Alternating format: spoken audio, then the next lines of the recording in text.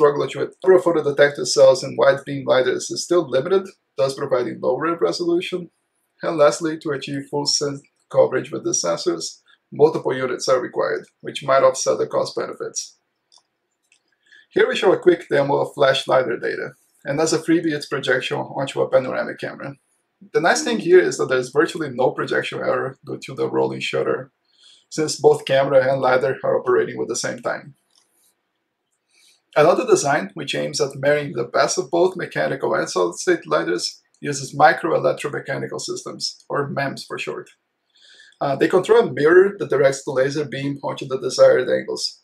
This is technically a quasi-solid-state system, in the sense that there's still a mechanical actuation, but it's at the microscale and the lasers and optics are static.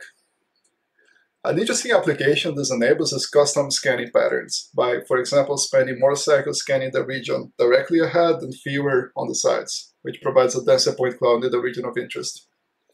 A point of consideration here is that the tiny mirror limits how much energy can be used in the laser beam, and so to achieve longer ranges, the laser frequency becomes a key factor. Here we have a video showing data from such a sensor, uh, it's worth noting that because the sensor is essentially operating on a plane, since there are no major moving parts, the wide horizontal coverage is achieved by having multiple sensors, as we can see here. The LiDAR designs we covered so far typically use the pulsed amplitude modulated laser, and so range is simply defined by the time of flight of the pulse. However, a different approach relies on using a continuous frequency modulated laser, and in this case the range is determined by comparing the frequency shift between two coherent waves one from the internal oscillator and another from the reflected wave. An interesting side effect of frequency modulation is that you can simultaneously measure radial distance and velocity because of the Doppler effect. However, this comes with its own set of challenges. Firstly, we want to estimate the position and velocity accurately, but because both will affect frequency, we need to come up with strategies to disentangle the effects. Second, the frequency comparison between the source and reflected waves is only possible if they stay coherent, which potentially limits the range of these lidars as a function of the coherence length of the wave.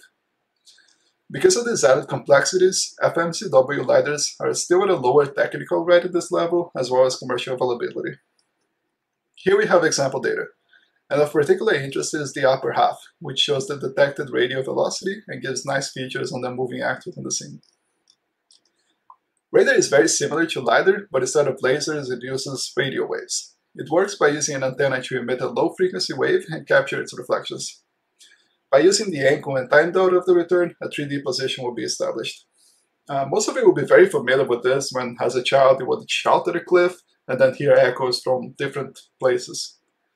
Um, like before, we have the benefit here that by observing the change in frequency between emitted and received wave, uh, we can inform the radial velocity of the target by the Doppler effect, we're also able to manipulate the emitted wave for more spread or range, which gives us operation modes for near or long range. Um, by using lower frequency waves, radar is also able to penetrate through rain, snow, and fog, making it more robust to weather.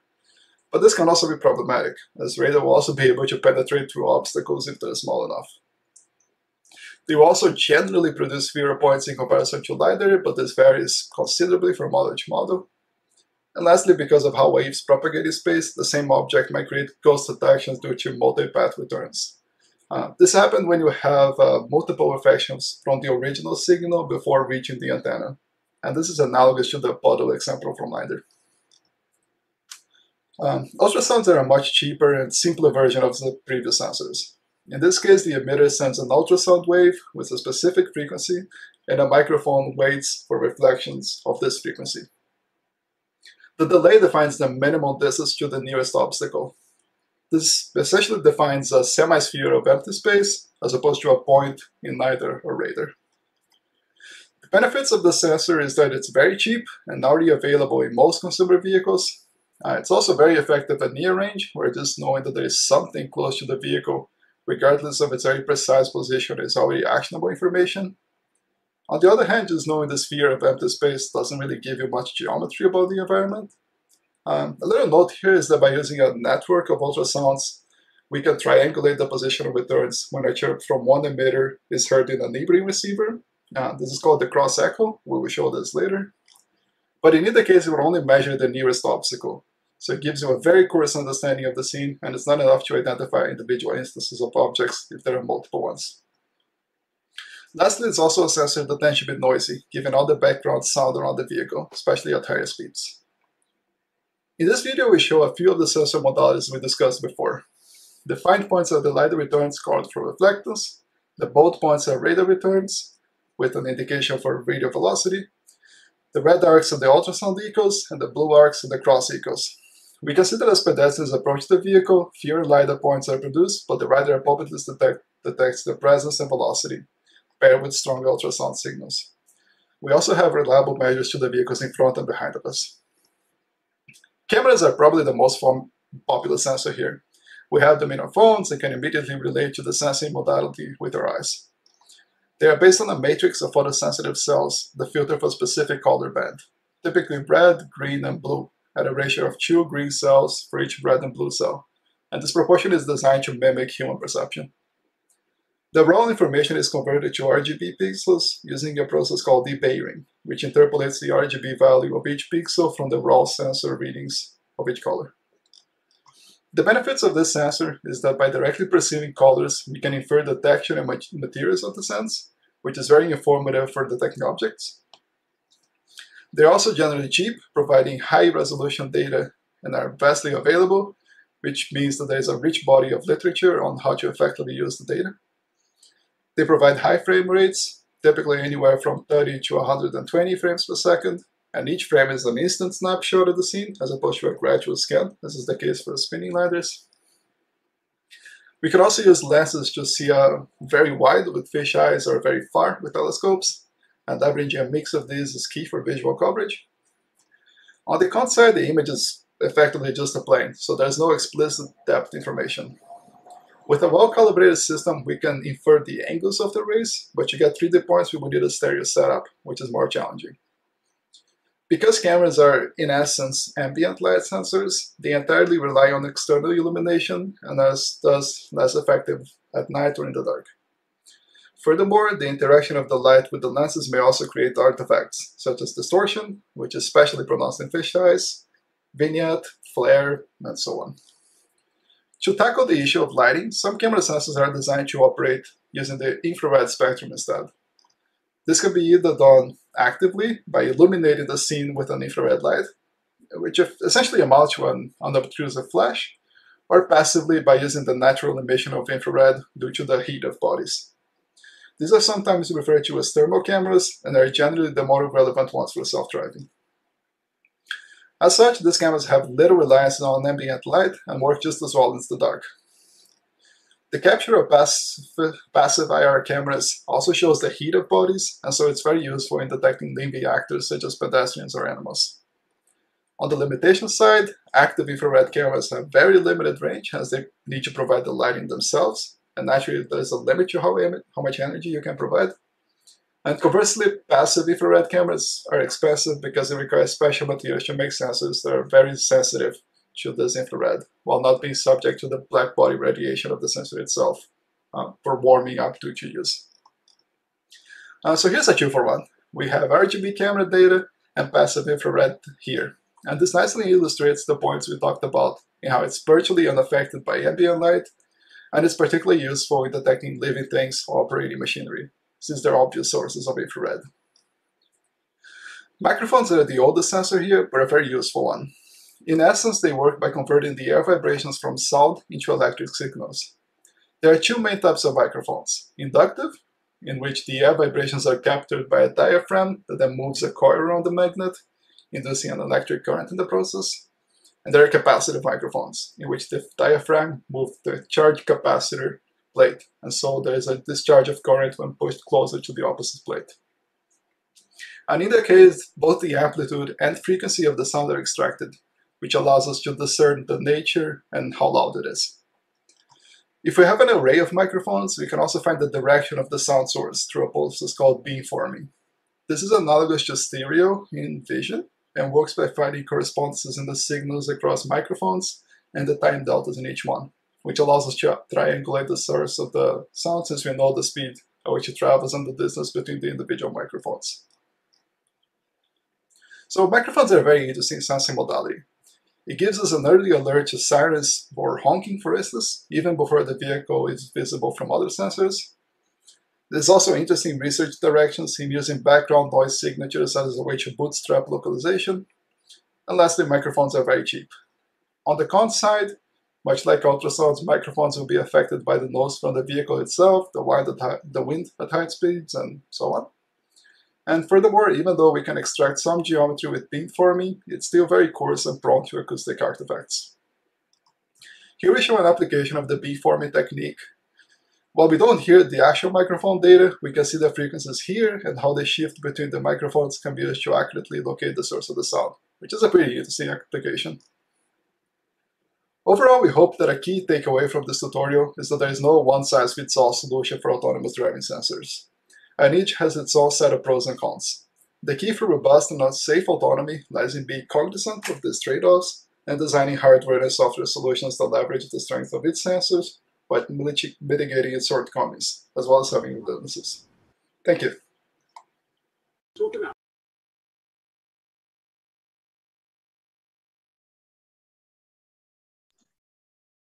Cool. So now we'll do a Q&A session in five minutes. We have uh, Davi and Andre online. Thanks, Siva. Uh, yeah, so uh, I'm just gonna round up some of the questions that are. There's one on the Slido. So there's a there's multiple places where people can ask questions. I guess here the most convenient one is in the Zoom chat, but we also have a Slido that's linked on the website, uh, as well as you can ask questions in the in the YouTube chat. So the YouTube chat is currently for the live stream empty. There's one question on Slido currently, whether which asks, uh, is your tutorial going to be recorded and available somewhere on the CVPR uh, 2021 website? And the answer is yes. Uh, there's going to be the recording of the YouTube live stream. Um, I think that's going to miss a little bit in the beginning, but we will update individual, like the individual session videos, like we did on the 2020 website which is also linked on the 2021 website. Uh, we're going to have individual videos for each session posted after CVPR. Um, and I think that answers uh, one of the questions in Zoom chat as well.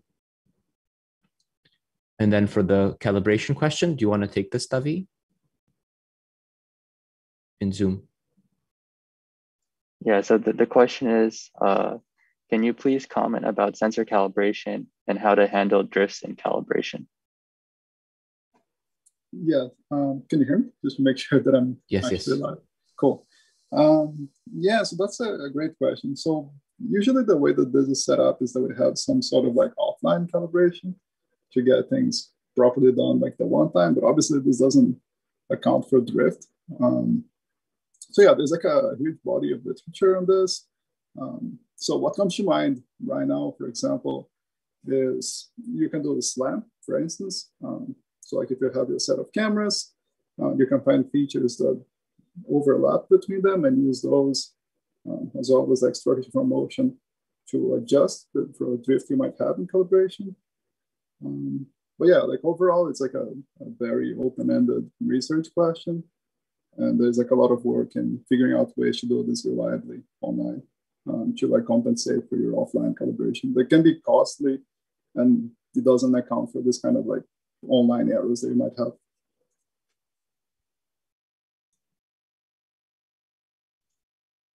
Sounds cool. good. Um, Thanks, uh, the next question is like, what are some common calibration tools popular in the self-driving car industry?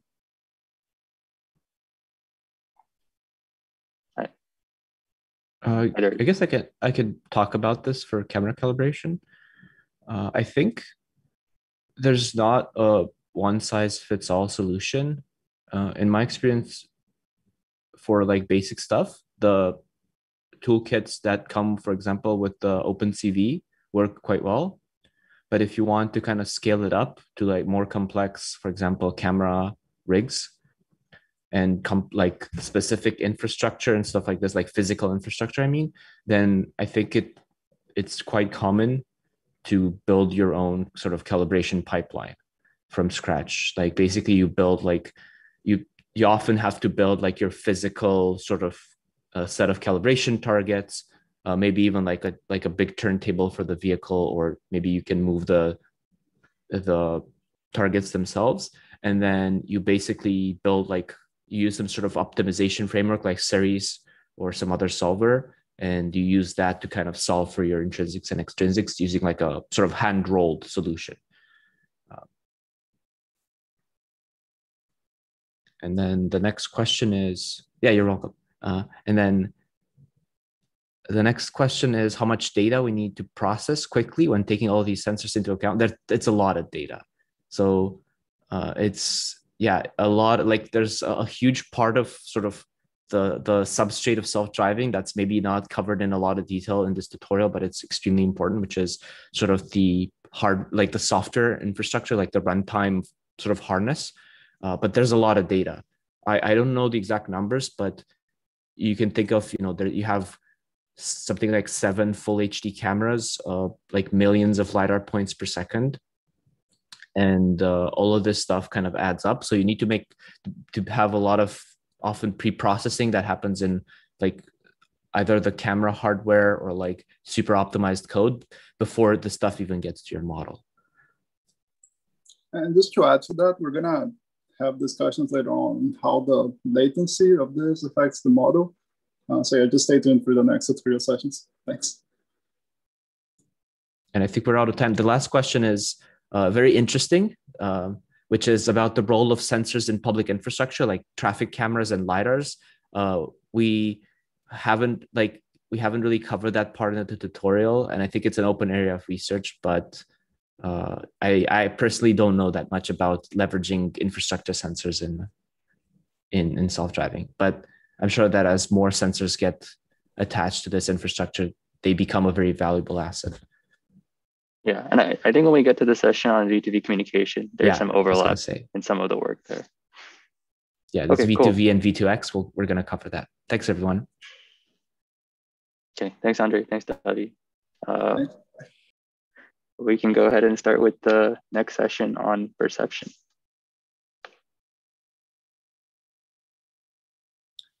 Hello, everyone. My name is Bin Yang, a research scientist at Waabi. In this session, I'll provide an overview on works that tackle 3D perception for self-driving. The problem that we are trying to solve here is the following. Given multiple sources of sensor inputs, for example, LiDAR, camera, radar, as well as high-definition maps, how can we design a system that jointly utilizes these information sources and efficiently detects surrounding traffic actors in an open world environment. This problem has the following key challenges that need to, need to be addressed. First of all, the fundamental task we are doing is 3D object detection. So the commonly used metric is the precision recall curve at different localization criteria, usually defined by the intersection over union of two bounding boxes. Secondly, we have multiple sources of sensor inputs from LiDAR, camera, radar, and HD maps. So we need to do sensor fusion in our perception system. Thirdly, we need to make a design choice for the specific kind of output representations the model reasons about. Commonly used ones are bounding boxes, pixel-wise masks, or scene-level occupancy grids. In addition, the efficiency of the perception system matters for driving safely as it needs to run in real time. We will discuss ways to speed up computation using sparse kernels and how we can design latency-aware perception models. Finally, we are dealing with an open world environment, and to ensure safety, the perception system should be able to recognize unknown objects on the road. Given the aforementioned problem definition and challenges, we will review recent works from the following aspects. We'll begin with LiDAR-based perception algorithm. In particular, we'll discuss different LiDAR point cloud representations, how to exploit their sparsity to speed up computation, and the predominant okay. detection frameworks that currently exist. We will then move on to the approaches that perform 3D perception using a more affordable sensor, cameras. Afterwards, we will talk about sensor fusion techniques that jointly process LiDAR and camera data, as well as radar data. Apart from multiple sensors, we can also exploit prior knowledge like high definition maps to improve the system robustness. HD maps are built for various purposes in practical self-driving systems. And here, we discuss the use of HD maps in the context of 3D perception mainly. While most perception algorithms focus on a few predefined object categories of interest, it's also critical to driving safety that we recognize unknown objects on the road, like animals and garbage that interfere with our driving routes. We therefore briefly discuss algorithms that address this open set perception task. Lastly, for real-world application, just having great performance at the task at hand is not enough because practical considerations such as latency matters. Therefore, we will also briefly discuss metrics and models that taken into account of latency. Well, in this session, we try to cover the following commonly used sensor modalities for 3D perception. We'd like to emphasize that there exist other sensors for this task as well, like ultrasonics. Please see session two for a more comprehensive review of hardware for self-driving. We first revisit LiDAR-based approaches. Due to its accurate 3D measurements, LiDAR is often used as the primary sensor for self-driving vehicles. However, dealing with LiDAR point clouds data itself is a non-trivial task due to computation constraints, less structured data format, and dramatically varying sparsity.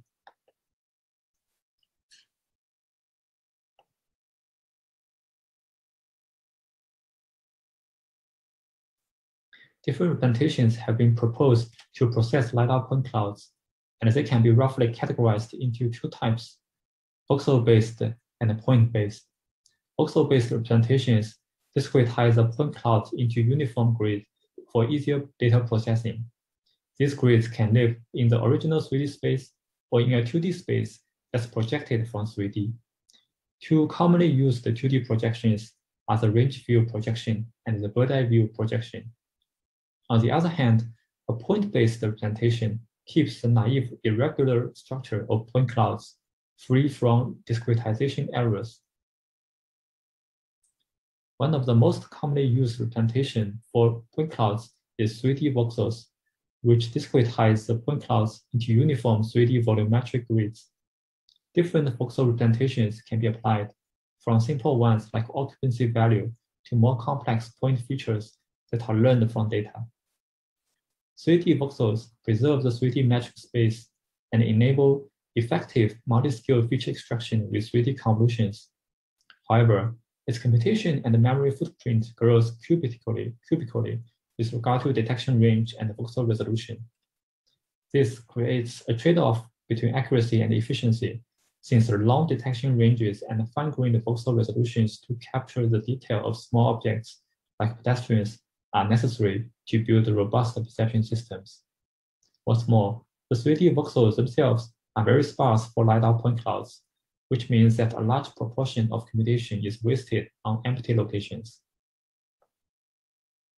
While 3D voxels are very sparse, the 2D range view projection is a much denser and more compact representation of LiDAR point clouds. This projection works by mapping laser beams in horizontal and vertical directions to a 2D image plane defined by the LiDAR field of view in azimuths and elevation angles. The resolutions in azimuths and elevation are usually set according to the LiDAR specification. In other words, one can understand the 2D range view projection as a panorama image for LiDAR. Commonly used pixel representations are point height, range, and occupancy. Range view projections can be efficiently processed by 2D convolutions, and they also preserve full range information without range cutoff, as in 3D voxels. However, it is more difficult to incorporate priors here due to the metric space distortion, and the neighborhoods in the range view are not the true ones, which makes 3D learning less straightforward. Another 2D representation is bird eye view projection which works similarly to 3D voxels, but consolidates height information as a BEV voxel feature. These BEV voxel features can be either hand-designed, such as the Tixis at discretized height slices or learnable features or points within the BEV pillar. BEV representation shares the same advantages as 3D voxels in that 3D metric space is preserved, with additional benefit that the spatial dimension of feature maps is reduced from 3 to, to 2, leading to more efficient inference. Note that this is a reasonable assumption as planning is performed on the same ground. However, the computation and memory costs still grow quadratically with regard to voxel resolution and the detection range. Later, we'll discuss techniques that exploit sparsity to speed up computation. While, while previously introduced representations all discretize the irregular point clouds into regular 2D or 3D grids, we can also use its raw representation as an unordered set of 3D points, where 3D coordinates are used as a point feature. We then apply point-based neural networks for feature learning. Unlike grid-based representations, the point set representation doesn't have discretization error as precise point locations are preserved. As a result, this often leads to better object localization precision. The drawback of this representation mainly lies in its point-wise feature learning. In particular, this representation creates significant computation overhead from irregular memory access and dynamic kernel computation. What's more, multi-scale features are desired for object detection, and this is realized by key point sampling for point-wise feature learning. However, different key point subsampling strategies can affect the final performance a lot, due in part to the dramatically varying point density of LiDAR data. So far, We've reviewed four different representations for LiDAR point clouds, two of which are very sparse, the 3D voxels and the BEV projections. A natural question arises, can we exploit the data sparsity to speed up computation? The answer is yes. We can use sparse convolutions to avoid wasting computation on empty locations. Sparse convolution works by doing computation on valid locations only and valid convolution is realized via the Im into column algorithm. The valid locations are stored as a looked up table beforehand so that the sparsity pattern doesn't change as we stack more convolution layers. While sparse convolutions can generalize very well, it produces limited speedup in the 2D case as the image to column algorithm doesn't run as fast as a well-optimized 2D dense convolution kernel. To address this performance issue, sparse block convolution is proposed. Instead of operating on original valid locations, it first approximates the sparsity mask with a blockwise mask, and there's a faster Winograd algorithm er-, for dense convolution on all blocks. The weakness of the approach is the introduction of a tiling step, which is unsuitable for very scattered sparsity patterns. However, in the case of self-driving, where we care more about on-road perception, the drivable region can serve as the sparsity mask, and it, can be well approximated by blocks. Here we show a video where we apply sparse block convolutions to speed up bird-eye view vehicle detection. On the top are the results of the original dense BEV detector, which detects vehicles within 17 meters range. On the bottom left we show the results that exploit the drivable region as a sparsity mask, where we can achieve about two times speed up. On the bottom right, we show results that exploit the sparser mask produced by a segmentation network, where we can achieve even more speed up. It's also worth noting that the speed up is achieved without sacrificing detection accuracy. In practice, we observe less than a 1% drop in average precision. So far, we have discussed the various point cloud representations, as well as how to build efficient feature extractors on top. Now we briefly discuss different designs of the detection framework. In the context of 3D object detection, there exist two major frames, which are one-stage framework and two-stage framework. While one-stage detectors produce pixel-wise object estimates through a single forward pass of a convolutional neural network, two-stage detectors decompose the task into two steps. First, generate object proposals in a fully convolutional way, and then refine the proposals based on region-specific features. We first review the one-stage 3D object detectors, which produce dense 3D object detection outputs in terms of box information and class probabilities from the last layer of a ConvNet. For 3D box estimation, there are two ways to do this. One way is to directly regress the 3D size and orientation of a bounding box at each pixel of the output feature map. This means that we believe the network capacity is large enough to capture the variations in object shapes. Another solution is to resort to a set of predefined anchors or prototypical object shapes. For each object, for each output pixel, the model predicts the probability for each anchor as well as the residual information with regard to that anchor shape. As a result, the issue of large object shape variance is remedied to some extent. One-stage detectors typically have real-time inference speed and have fewer hyperparameters to tune in general. However, they suffer from imprecise object localization, as in many cases, we are estimating the object boundary from the center pixel alone. Two-stage 3D object detectors, in contrast, introduce the concept of region feature pooling to further refine the initial object estimations. While the first stage is almost the same as a one-stage detector, the second stage takes high confidence detections from the first stage and extracts region of interest features for box refinement. In practice, we can add even more stages afterwards for more iterations of refinement. Two-stage detectors have achieved the state-of-the-art detection accuracy on many public benchmarks, showing advantages over one-stage detectors, especially in terms of precise object localization. However, this higher accuracy is achieved at the cost of slower inference and more hyperparameters. So far, we've reviewed the LiDAR-based approaches for 3D perception, covering different representations, efficient feature computation, and different detection frameworks. Next, we'll talk about camera-based approach for 3D perception.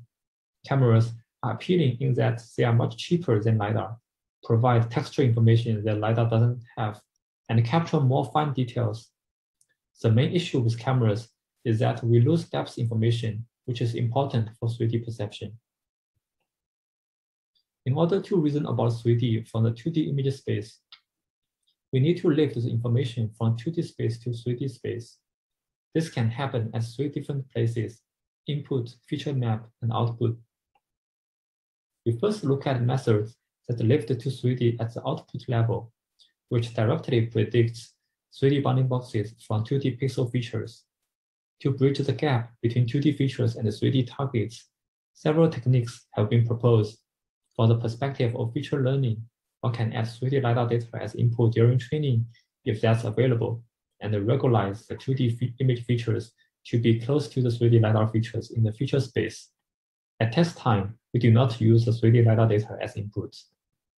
From the perspective of output parameterization, instead of directly predicting the 3D box, one can predict the object key, key points in 2D and solve for 3D box via template matching as shown in the figure. This type of approach can be considered as a simple extension of existing 2D detectors with a different output target. However, the performance is, is usually unsatisfactory when measured in 3D space. Now we look at methods that lift to 3D at the input level, also known as pseudo-LiDAR. These approaches first perform pixel-wise depth estimation, and then convert the image pixels with estimated depths to 3D space following the camera parameters. Then an off-the-shelf point cloud-based 3D detector can be applied to the pseudo-LiDAR point cloud. In these models, the depths can be inferred from monocular camera, stereo cameras, or by self-supervision from multiple cal calibrated cameras or video sequences. Pseudo LiDAR-based approaches achieve state-of-the-art results in camera-based 3D perception at the cost of an additional depth model. Instead of lifting to 3D as an input or output level, we can alternatively lift to 3D as a feature level in order to achieve a better trade-off between exploitation and computation. Specifically, a 2D ConvNet is first applied on the camera image to extract 2D image features. The pixels in the 2D feature map are then converted to 3D space as a 3D point or as a ray, depending on whether the depth is known or not. After feature map transformation, the resulting 3D feature map is then used to output 3D detections. Since the features lie in 3D space, they typically produce better 3D geometry. Another advantage is that the 2D 3D feature transformation only requires the camera parameters and can work even without depth estimation. The main weakness of this kind of approach also lies in the feature transformation. When depth is unknown, the one-to-many mapping brings ambiguity in the resulting 3D feature maps. When depth is known, errors in depth estimation would also lead to misaligned 3D features. So far, we've gone through perception algorithms that rely on either LiDAR or cameras.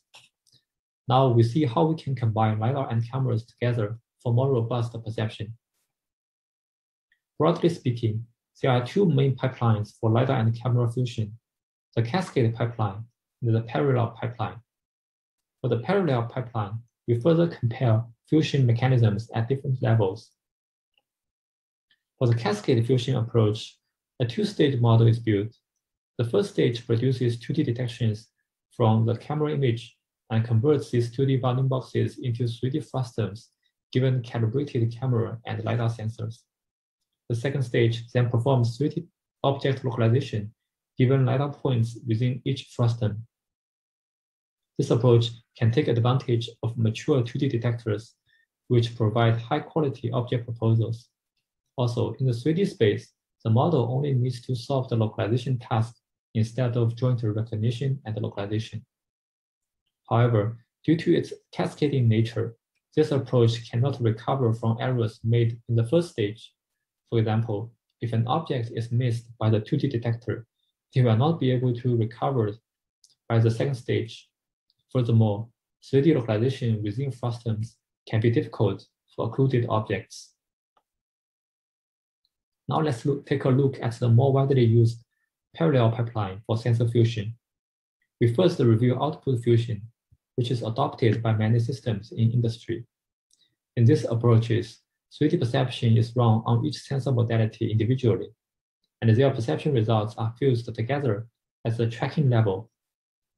Output fusion methods embody the spirit of modular design and therefore achieve redundancy safety. However, each object estimate is typically more unreliable as it comes from a single sensor, and the rule-based fusion is also error-prone.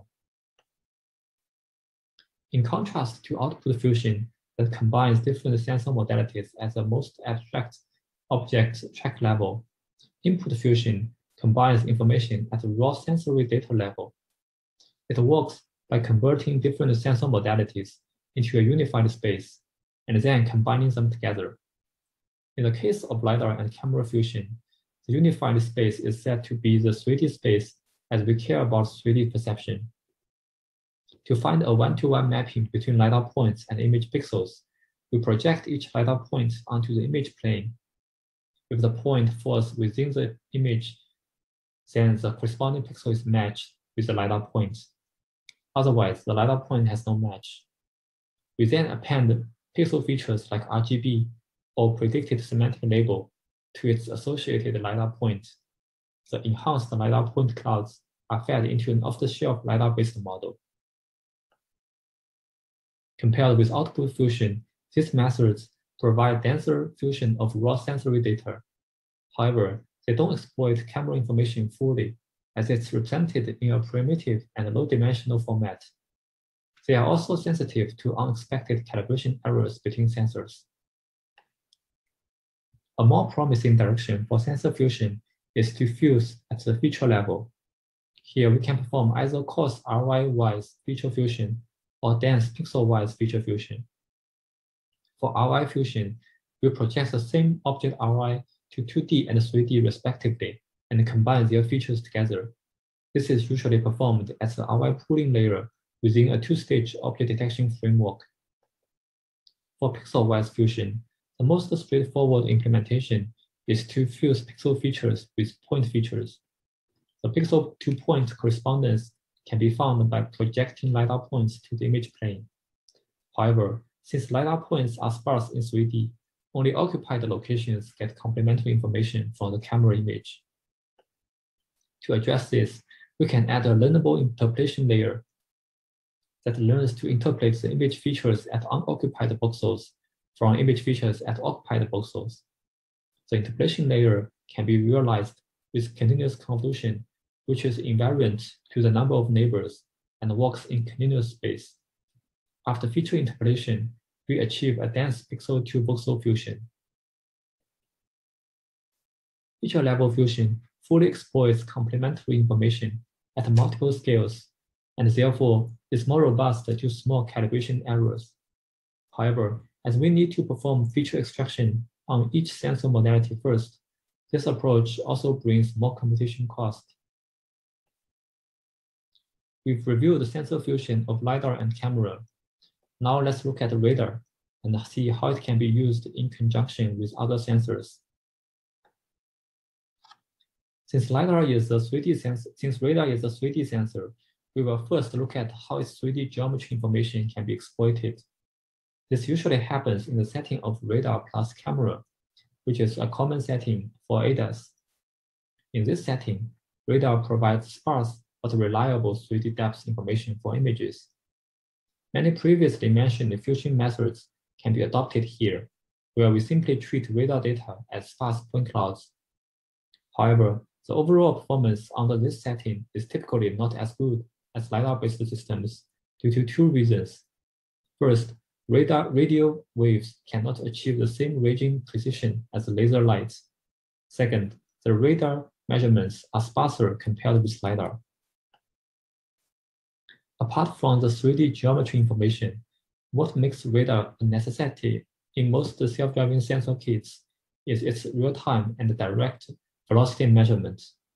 Here we discuss two approaches to exploit the velocity information in the setting of LiDAR plus radar, which are feature level fusion and output level fusion. At feature level, recent work LiRaNet proposes to rasterize radar observations at the same BV space as LiDAR and apply a separate ConvNet on it. The resulting radar-specific feature maps are then fused with LiDAR and map features at multiple scales to address the data sparsity issue in radar returns, they propose to densify the radar raster image by linear interpolation voxel features from nearby radar returns.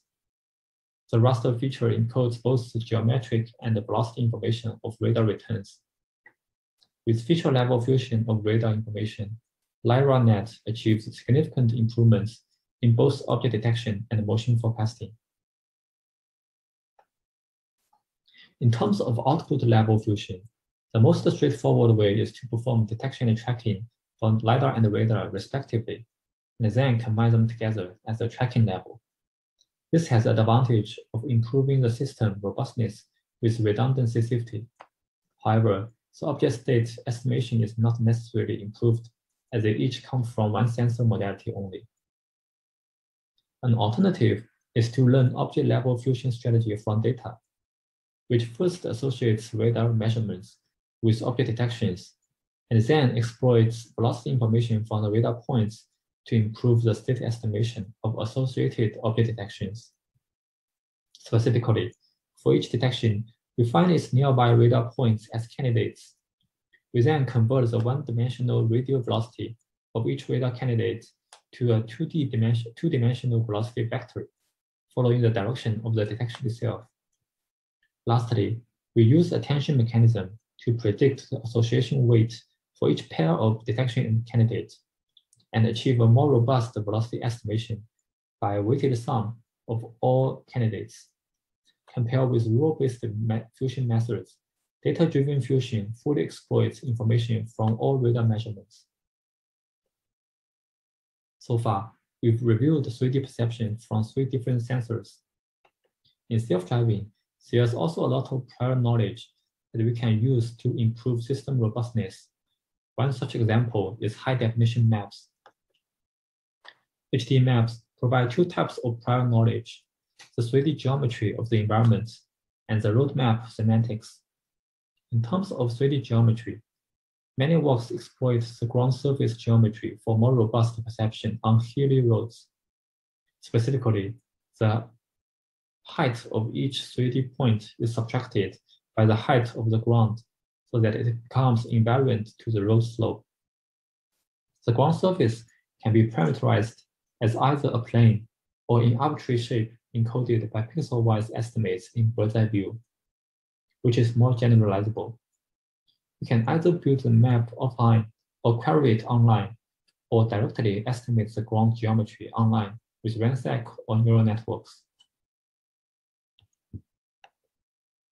Apart from geometry, HD maps also contain rich semantic information about the road map.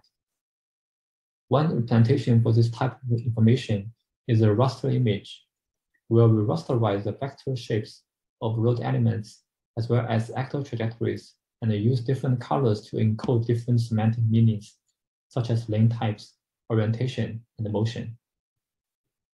The 2D ConvNet is then applied for map-specific feature learning, which can later be fused with sensor feature maps in the same BEV space, and the resulting feature can be used for more accurate object detection. The raster representation of HD maps is easier to implement and extend. However, they suffer from lossy rendering, limited receptive field, and intensive computation. A more intuitive and native representation is the lane graph, where we preserve the original vector format for lanes as well as trajectories. We then apply a graph neural network to obtain polyline level features and another graph neural network to model interactions between lanes and agents. The lane graph representation doesn't have information loss and can capture larger and more structured receptive fields and is more parameter efficient in feature learning. However, instead of resorting to different colors, now we need to delicately design the node and edge features of the lane graph so that they capture the full semantic information contained in the HD maps. Here we give a brief summary of how we can jointly exploit information from multiple sources like sensors and HD maps. We first talk about techniques that perform 3D perception from LiDAR, discuss the different input representations and detection frameworks. We then review methods that perform 3D perception from a much cheaper sensor, cameras. Afterwards, we also discuss different sensor fusion strategies that utilizes LiDAR, camera, radar, and maps information all together in a unified perception system. So far, we've discussed the various 3D perception methods that choose 3D or BV as the output representation. Reasoning about param parametric outputs has the advantages of better interpretability, and the output space itself is low dimensional. However, in many cases, this also requires additional post-processing, like object decoding, score thresholding, and non-maximum suppression. And through these post-processings, it becomes hard for downstream modules to fully capture the uncertainty of each object estimate. In the meantime, there are methods that choose to reason about non-parametric output for perception. These methods typically choose to predict a probabilistic occupancy map in BEV space. This has the advantage of building end-to-end -end systems while propagating uncertainty, but at the cost of higher dimensional output space and less interpretability. Next, we briefly introduce three recent works that adopt non-parametric output representations. The first work we want to introduce is discrete residual flow for probabilistic pedestrian behavior prediction. The model takes as input the raster image of the scene encoding the information of both maps and past electoral trajectories, and outputs the probabilistic occupancy grids of pedestrians at current and future time steps.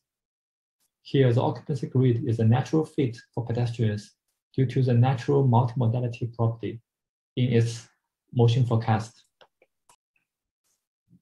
Another recent work, FIERY, performs multimodal motion forecasting from surround camera, surround monocular cameras. The model first lifts the image features from 2D space to 3D BEV space with steps estimation, and then reason about perception and motion forecast with instance segmentation masks in BEV. To handle the multimodal nature of motion forecast, it uses a conditional variational approach which parameterizes the present and future states as diagonal Gaussians. The third work, Lift, Splat, and Shoot, learns BEV features from RGB camera rigs and outputs object and map segmentation masks in BEV as a perception output. In addition, their model performs motion planning by sampling trajectories on a jointly learned BEV cost map. Here, the segmentation-based perception output serves as a nice auxiliary task to supervise the learning of the motion planning cost map. So far, we have seen algorithms that focus on a few predefined categories of interest. However, the ability to recognize unknown objects is also critical for safe driving. One way to address this challenge is to explain every point in the LiDAR point cloud. In particular, our goal is to segment every scene in the scene and classify it as either one of the known classes or as unknown. Additionally, we also want to recognize stuff such as the road. One approach to tackle this task is shown in the figure below. The main idea behind this model is to project the LiDAR points into a category, category agnostic embedding space. Then within the embedding space, we can group the points into both known and unknown things and stuff, irrespective of their semantics. After seeing how we can detect unknown objects in general, we now pay attention to how we can detect the motion cues of these unknown instances. Since recognizing object motion of unknown instances is also critical for safety. There are many scenarios where a vehicle may encounter moving instances of real categories, such as a person on a wheelchair passing through the road or a dog running across the street. One method to tackle this problem is self-supervised motion estimation with cross-sensor localization, where we utilize both LiDAR inputs and camera images to detect the motion of class-agnostic objects after factoring out the ego motion of the vehicle. The ambiguity of motion cues from a single sensor is reduced by encouraging consistency between the scene flow of LiDAR points and the optical flow of camera images. This particular approach can take advantage of an off-the-shelf optical flow estimator trained in an unsupervised way, obtaining the optical flow from two consecutive frames of camera images. At the same time, we can do unsupervised the scene flow estimation from the corresponding consecutive frames of LiDAR inputs by simply utilizing a chamfer loss and a smoothness loss together. Thus, we have obtained the optical flow and the scene flow of the same two consecutive frames and we want to encourage the consistency between scene flow and the optical flow. To do so, the method computes object motion by factoring out ego motion from optical flow. The ego motion can be calculated using the ego frame pose, ego vehicle pose change, and the first frame of LiDAR point clouds, along with already known information, such as camera intrinsic parameters. The estimated object motion serves two purposes. First, we use a consistency loss between the object motion and the scene flow estimation projected to the image plane. Second, we use the object motion information to reweight the points in the chamfer loss, where the moving points are weighted higher. This summarizes the training phase of the method. During inference, as the frame t plus 1 is not available, the model simply takes past LiDAR frames and produces pillar-wise motion estimation as the final output as shown in the green box. This concludes how we can detect motion cues of unknown objects in the setting of open set perception. So far, we've discussed how we can achieve good accuracy and speed in designing a perception system for self-driving vehicles. However, when applied in real-world applications, the latency of the perception system itself also matters, and it is already very short. Here we show an example of how latency affects our perception system in practice, where the system is not getting the real-time state estimates of the detected actors. This video nicely illustrates the effect of latency in real-world systems. while the model produces accurate outputs for each image, the time it takes to do so introduces latency in the system. Therefore, by the time these outputs are ready, they no longer represent the real state of the world. Another work, Strobe, proposes an approach to minimize latency in LiDAR perception by ingesting packets and emitting a stream of detections. By leveraging a spatial memory and efficient operators, the model produces accurate detections while achieving latencies six times lower than fast full sweep detectors.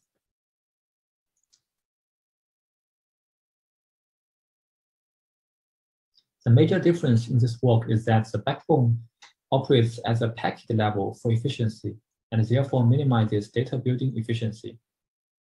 But because individual packets only provides a fragmented observation of the scene, global context is achieved by iteratively updating a latent spatial representation of the scene that is maintained with the memory module. To quantify the advantage of operating at the packet level, a latency-aware detection metric is introduced, as opposed to the typical mean average precision metric. The green boxes define the ground truth instead of gray. In doing so, the metric takes into account the data buffering time in order to estimate the quality of the detector.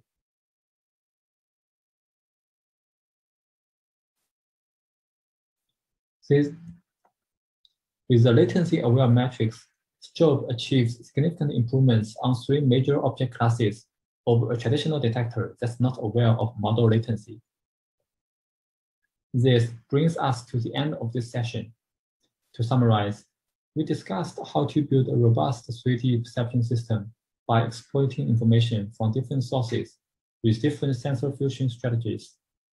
We also talked about different output representations that have been used for perception, especially in the case of joint learning with downstream tasks like motion forecasting and motion planning.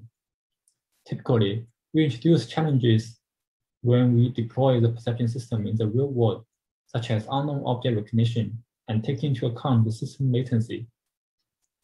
We want to emphasize that there are still many aspects of perception for self-driving that we have not covered due to time limitations.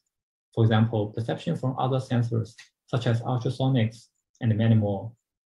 Thank you for your watching.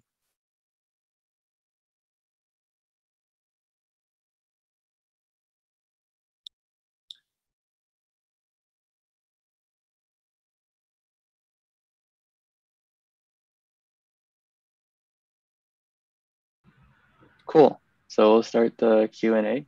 Uh, there's a couple of questions in the Zoom chat.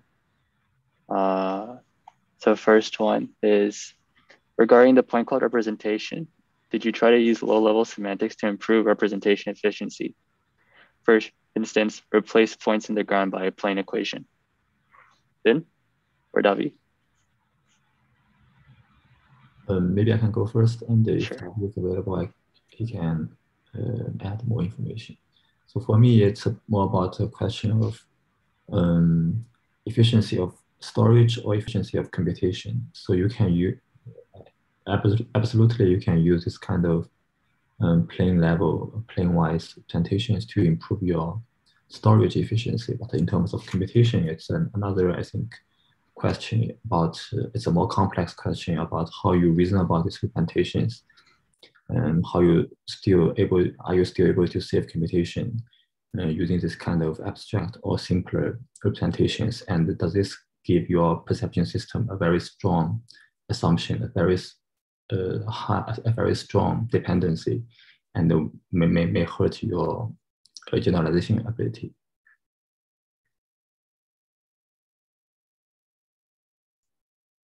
Cool, thanks. Uh, sorry, I missed one of the earlier questions. Uh, this one is um, based on the slide of on lifting the space at 3D at the input and the sensor coverage slide from the previous, uh, oh, I guess the slides are uh, already gone, but how often are the stereo fisheye cameras used in industry to solve both these problems of coverage and to get the 3D image? I don't see many solutions out there using them. Are there any fundamental problems in using them apart from the lens distortion, which can be undistorted anyways? Yes, yeah. So, so I think first of all, yeah, fisheye cameras are actually used very widely in industry, especially on production cars with ADAS functionality.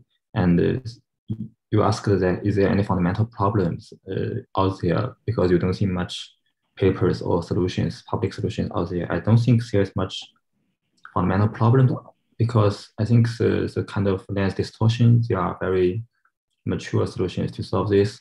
I think one of the reason maybe you didn't see much paper because it's it's not uh, uh, I think it's already a kind of solved problem and also another solution or more more more accessible more acceptable solution in industry is that uh, we will mount multiple multiple lidars on the vehicle to improve the coverage.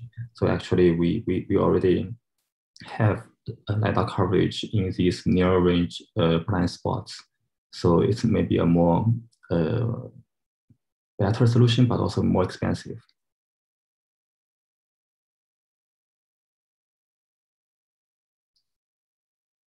Sorry, one follow up. I think to that question was that that's the question was specific to stereo fisheye, not just fisheye.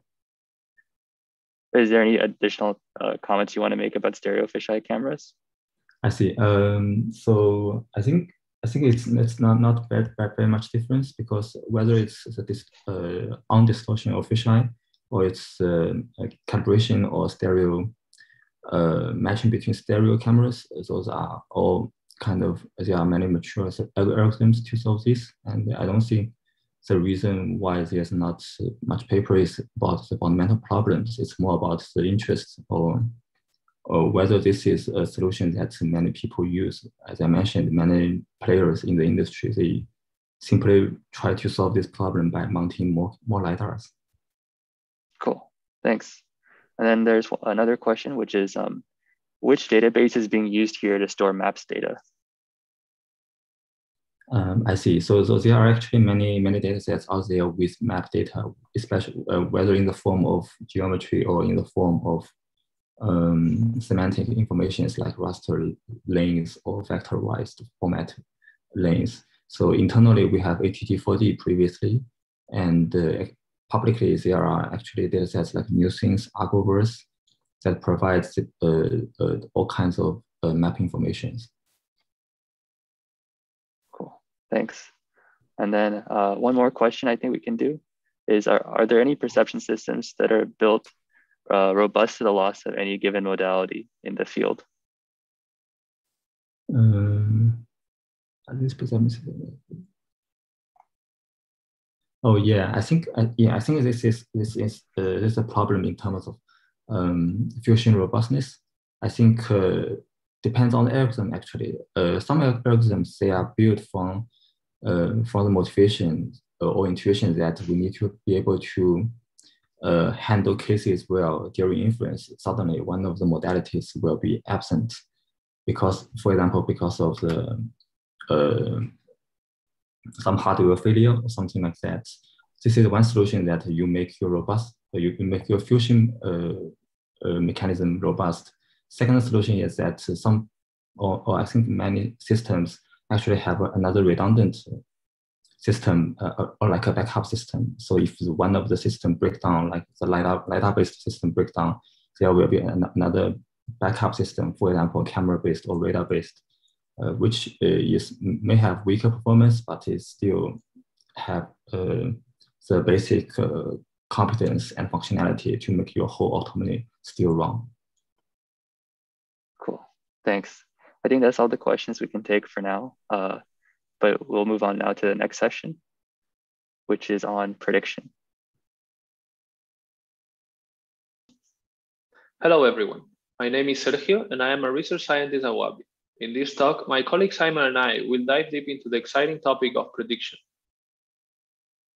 In a traditional self-driving pipeline, prediction comes after detecting and tracking the objects around the self-driving vehicle. With that information, the goal of the prediction model is to predict the future behavior of those objects as, accurate, as accurately as possible. There are three key challenges in accurately forecasting the future.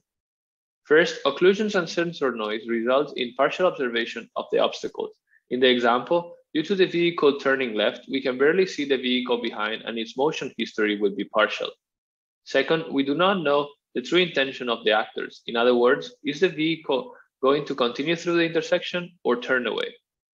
Lastly, navigating traffic is highly interactive. We must take into account how actors influence each other as negotiations, such as the one in the example, can generate distinct future realizations. In this talk, we will first see how prediction was framed in the traditional autonomy pipeline and why we extended it to perform perception and prediction jointly. As for any visual task, it is critical to learn a rich representation of the scene. In the first section, we explore the latest approaches into encoding the past context, the map, and lastly, interactions between traffic participants. Then we switch gears to explore output representations that allow us to perform various types of reasoning. First, we explore how to, how to capture uncertainty and multimodality at the actor level. Next, we explain how this is extended to conditional prediction, where we explicitly model the self-driving vehicle's influence on other actors. Then we go one level deeper and explain how to reason jointly about all actors in the scene to predict consistent futures. Finally, we cover instance-free representations where all the motion forecasting happens without a previous detection stage. To wrap up the talk, we discuss the learning methodologies that tie it all together, along with how we evaluate our models. Let's get into our first block and see how we can improve on the traditional autonomy pipeline. The simplest method to try to tackle the prediction problem is to unroll the tracker state with a kinematic model, such as the constant velocity or constant turn rate and acceleration. This allows us to incorporate prior knowledge about typical behavior and physics, but the strong assumptions mean we cannot capture the diversity of the real world. As we can see in the image, a constant velocity model does fairly well for most cases, but fails in those that behave more diversely. Another option is to perform maneuver-based prediction. This is a two-step method.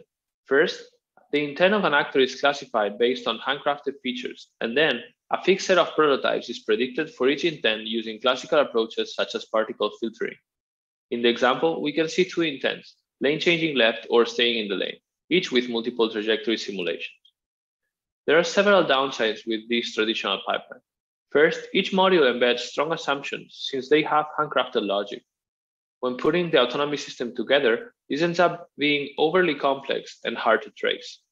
Second, prediction relies on accurate information from upstream modules such as tracking. However, in practice, the scenarios are complex and the tracks are not perfect, leaving prediction to deal with noisy and missing data. On top of it, these cascading independent modules assume an interface is predetermined, this interface is typically a bottleneck and limits the flow of information, particularly regarding uncertainty.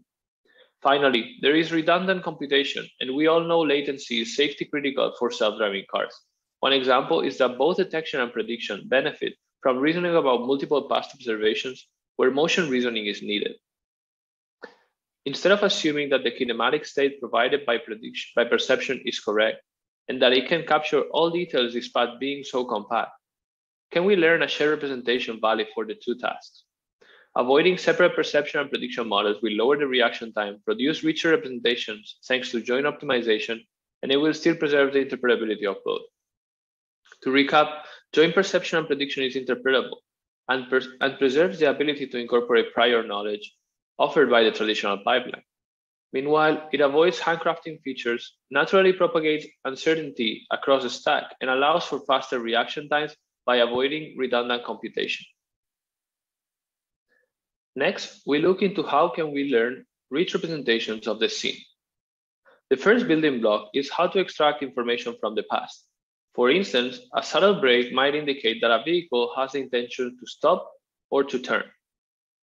The first step forward from a traditional pipeline is how to extract meaningful features from past trajectories, replacing the tracker state as the main source of information. This step is done for each actor. A simple option is to rasterize the geometry of the perceived traffic participants in a multi-channel bird's eye view image local to each actor as shown in the image.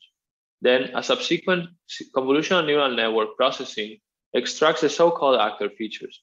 Although simple to implement, this representation is memory heavy and assumes perfectly robust detection and tracking. Past trajectory waypoints, together with the uncertainty, if available, can be encoded through a recurrent neural network, a temporal one-dimensional convolutional neural network, or even a graph neural network, where the ordering is passed as a feature.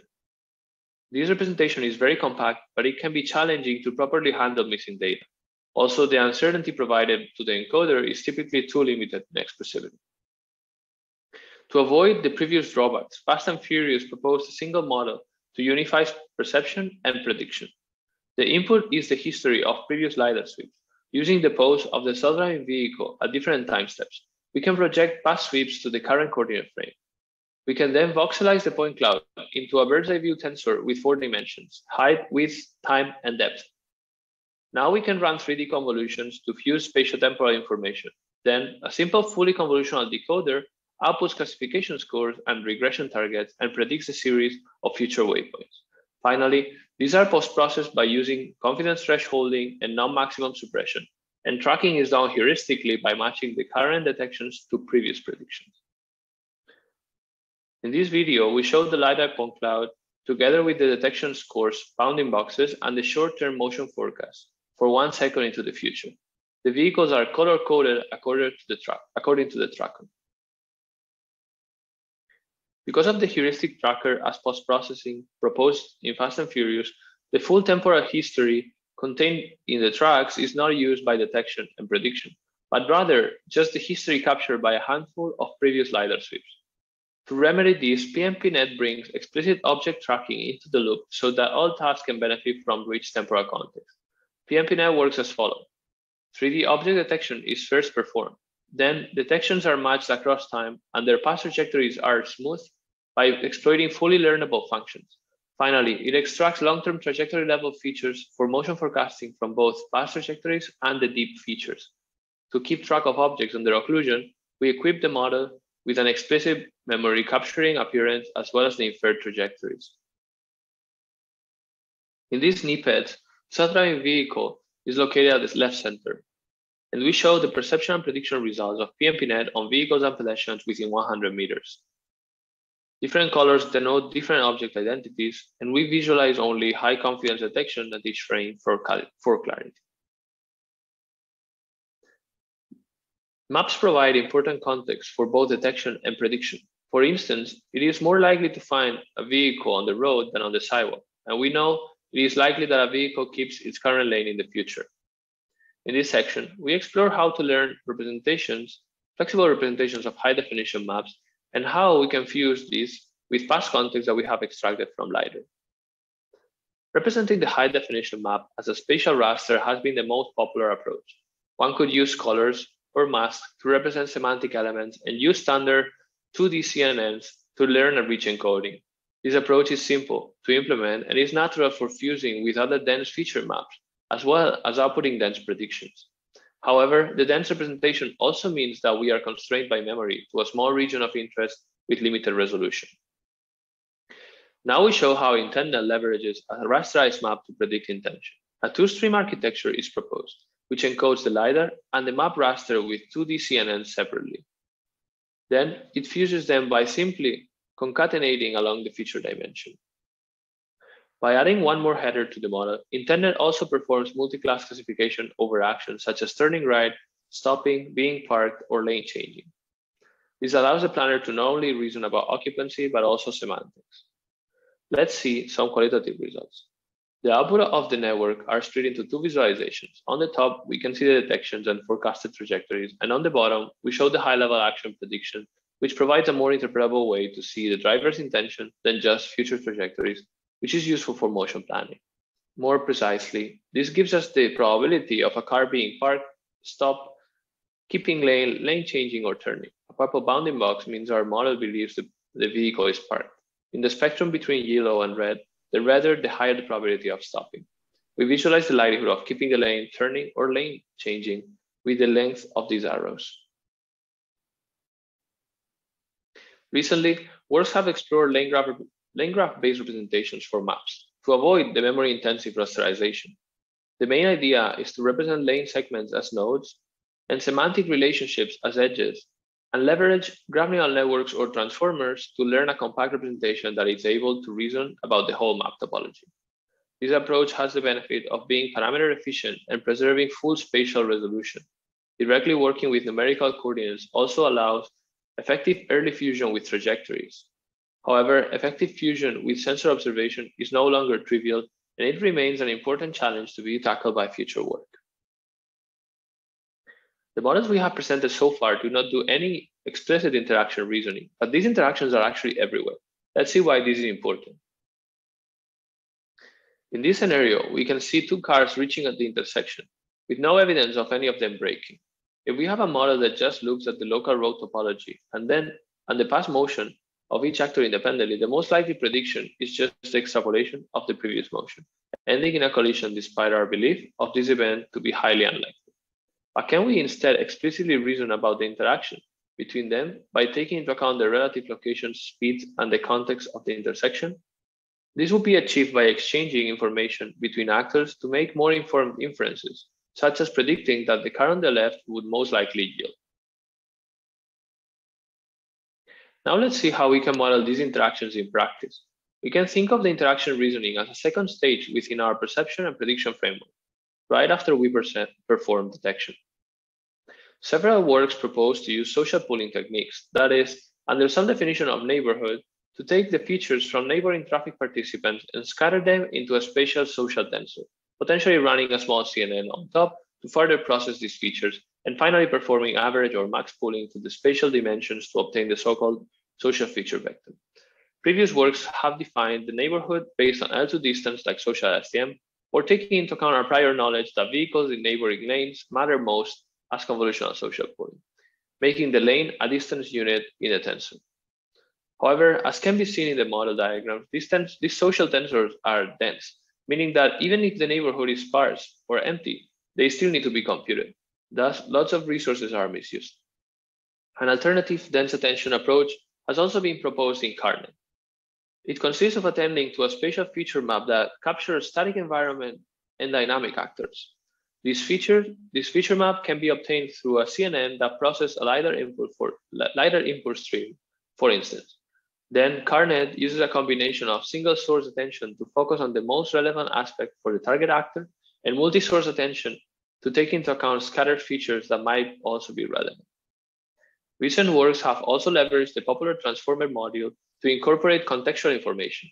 In the interaction transformer work, the interaction module recurrently attends to different actors in the scene to capture interaction across time. The MM transformer works takes, in, takes it one step further by using a unified transformer architecture to cap capture both actor map as well as actor-actor interactions.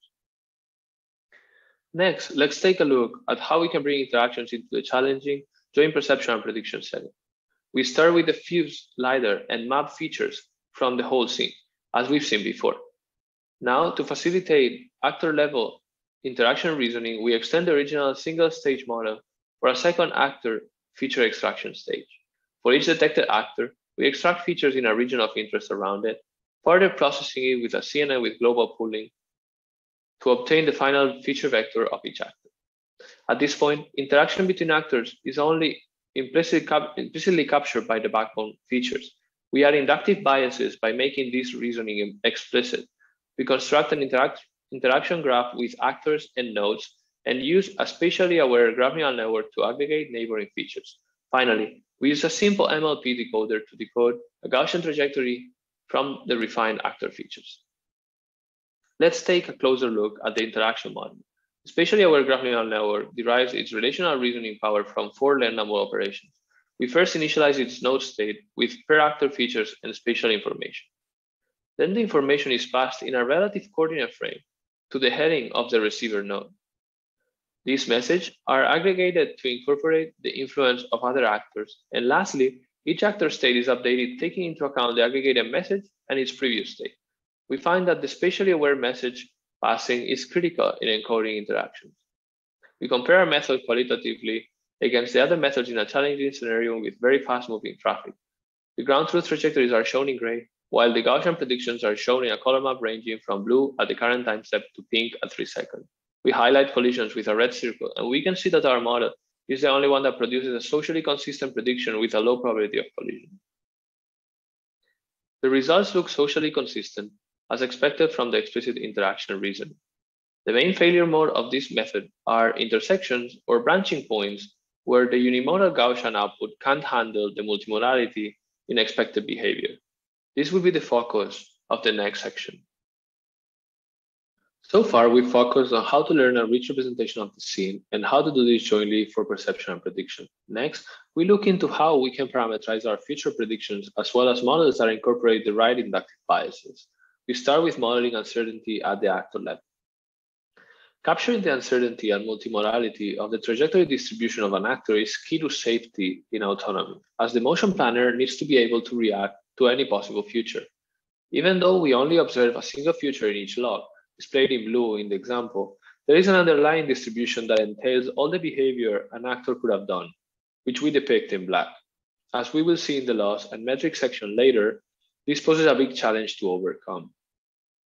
The simplest way to capture this multimodal uncertainty is to have a mixture of Gaussian trajectory, basically a predefined number of modes where each mode is a sequence of bivariate Gaussian waypoints over time, as displayed in the image.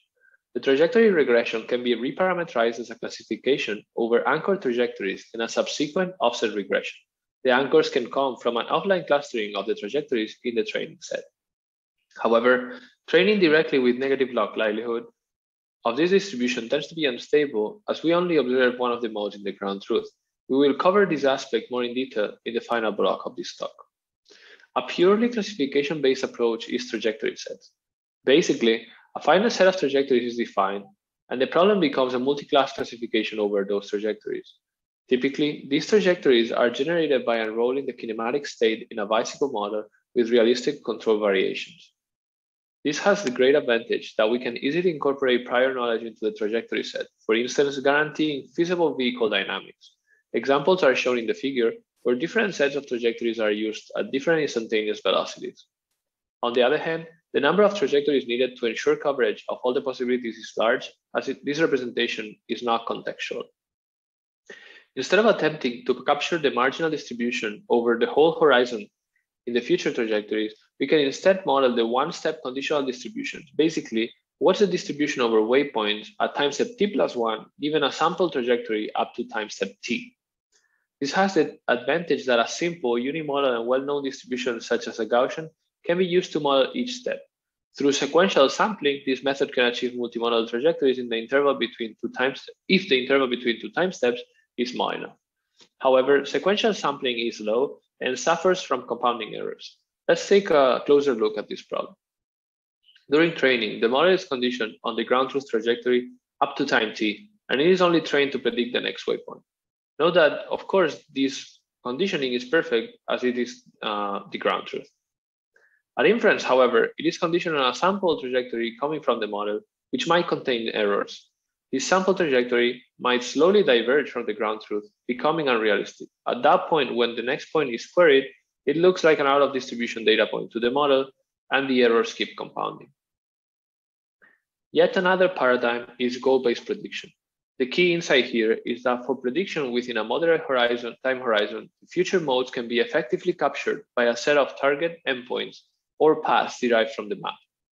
Typically, the prediction task is broken down into two steps. First, we classify over possible goal points or paths, and then for each mode generated and for, for each mode, we generate and, and score a set of trajectories. In the case the goal is represented as a base path, the trajectory can be predicted as offsets from the lane center lines, which eases prediction by adding prior knowledge.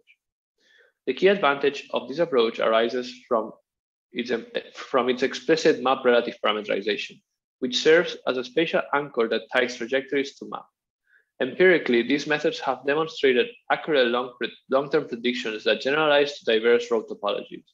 The main challenge of this approach is capturing the non-compliant actor behaviors that might deviate from the lane graph. Finally, a different but natural way to capture multimodality is through occupancy grid maps. These approaches discretize the local region around the actor into bins and then predict a categorical distribution over the grid cells at each future time, future time steps. Since each cell encodes the probability of the actor being there, it's inherently multimodal. Basically, to predict a multimodal distribution, the model just needs to place probability in different grid cells. This can be appreciated in the results from the discrete residual flow model, which can reason about the environment very accurately, avoiding parked cars and following crosswalks and sidewalks. As opposed to Gaussian mixtures, the classification loss of these methods makes optimization very stable. However, this is a fairly memory consuming representation since we predict a dense grid for each actor at each time step. Thank you for your attention. Now I will leave you with Simon, who will present the rest of the tutorial. Thanks, Sergio. Hi, everyone. My name is Simon, and I'm also a research scientist at Waabi. In the previous section, we have seen how to model the uncertainty at the actor level.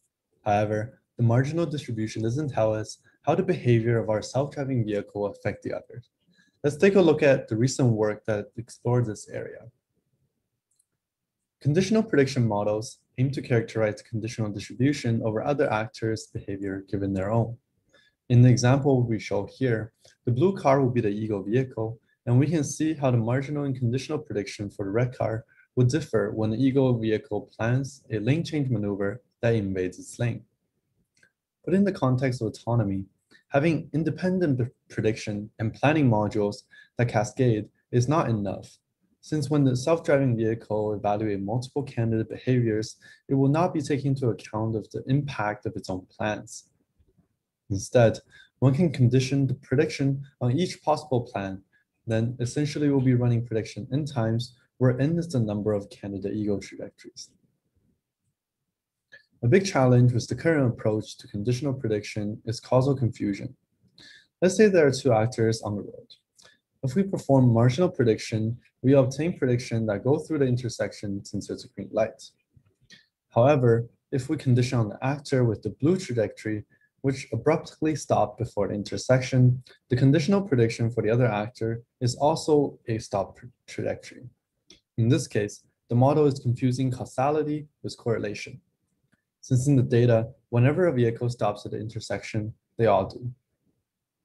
Another challenge with this approach are the computational resources required. As we discussed, these methods run prediction for every conditional, meaning an expensive linear scaling on the number of ego plans.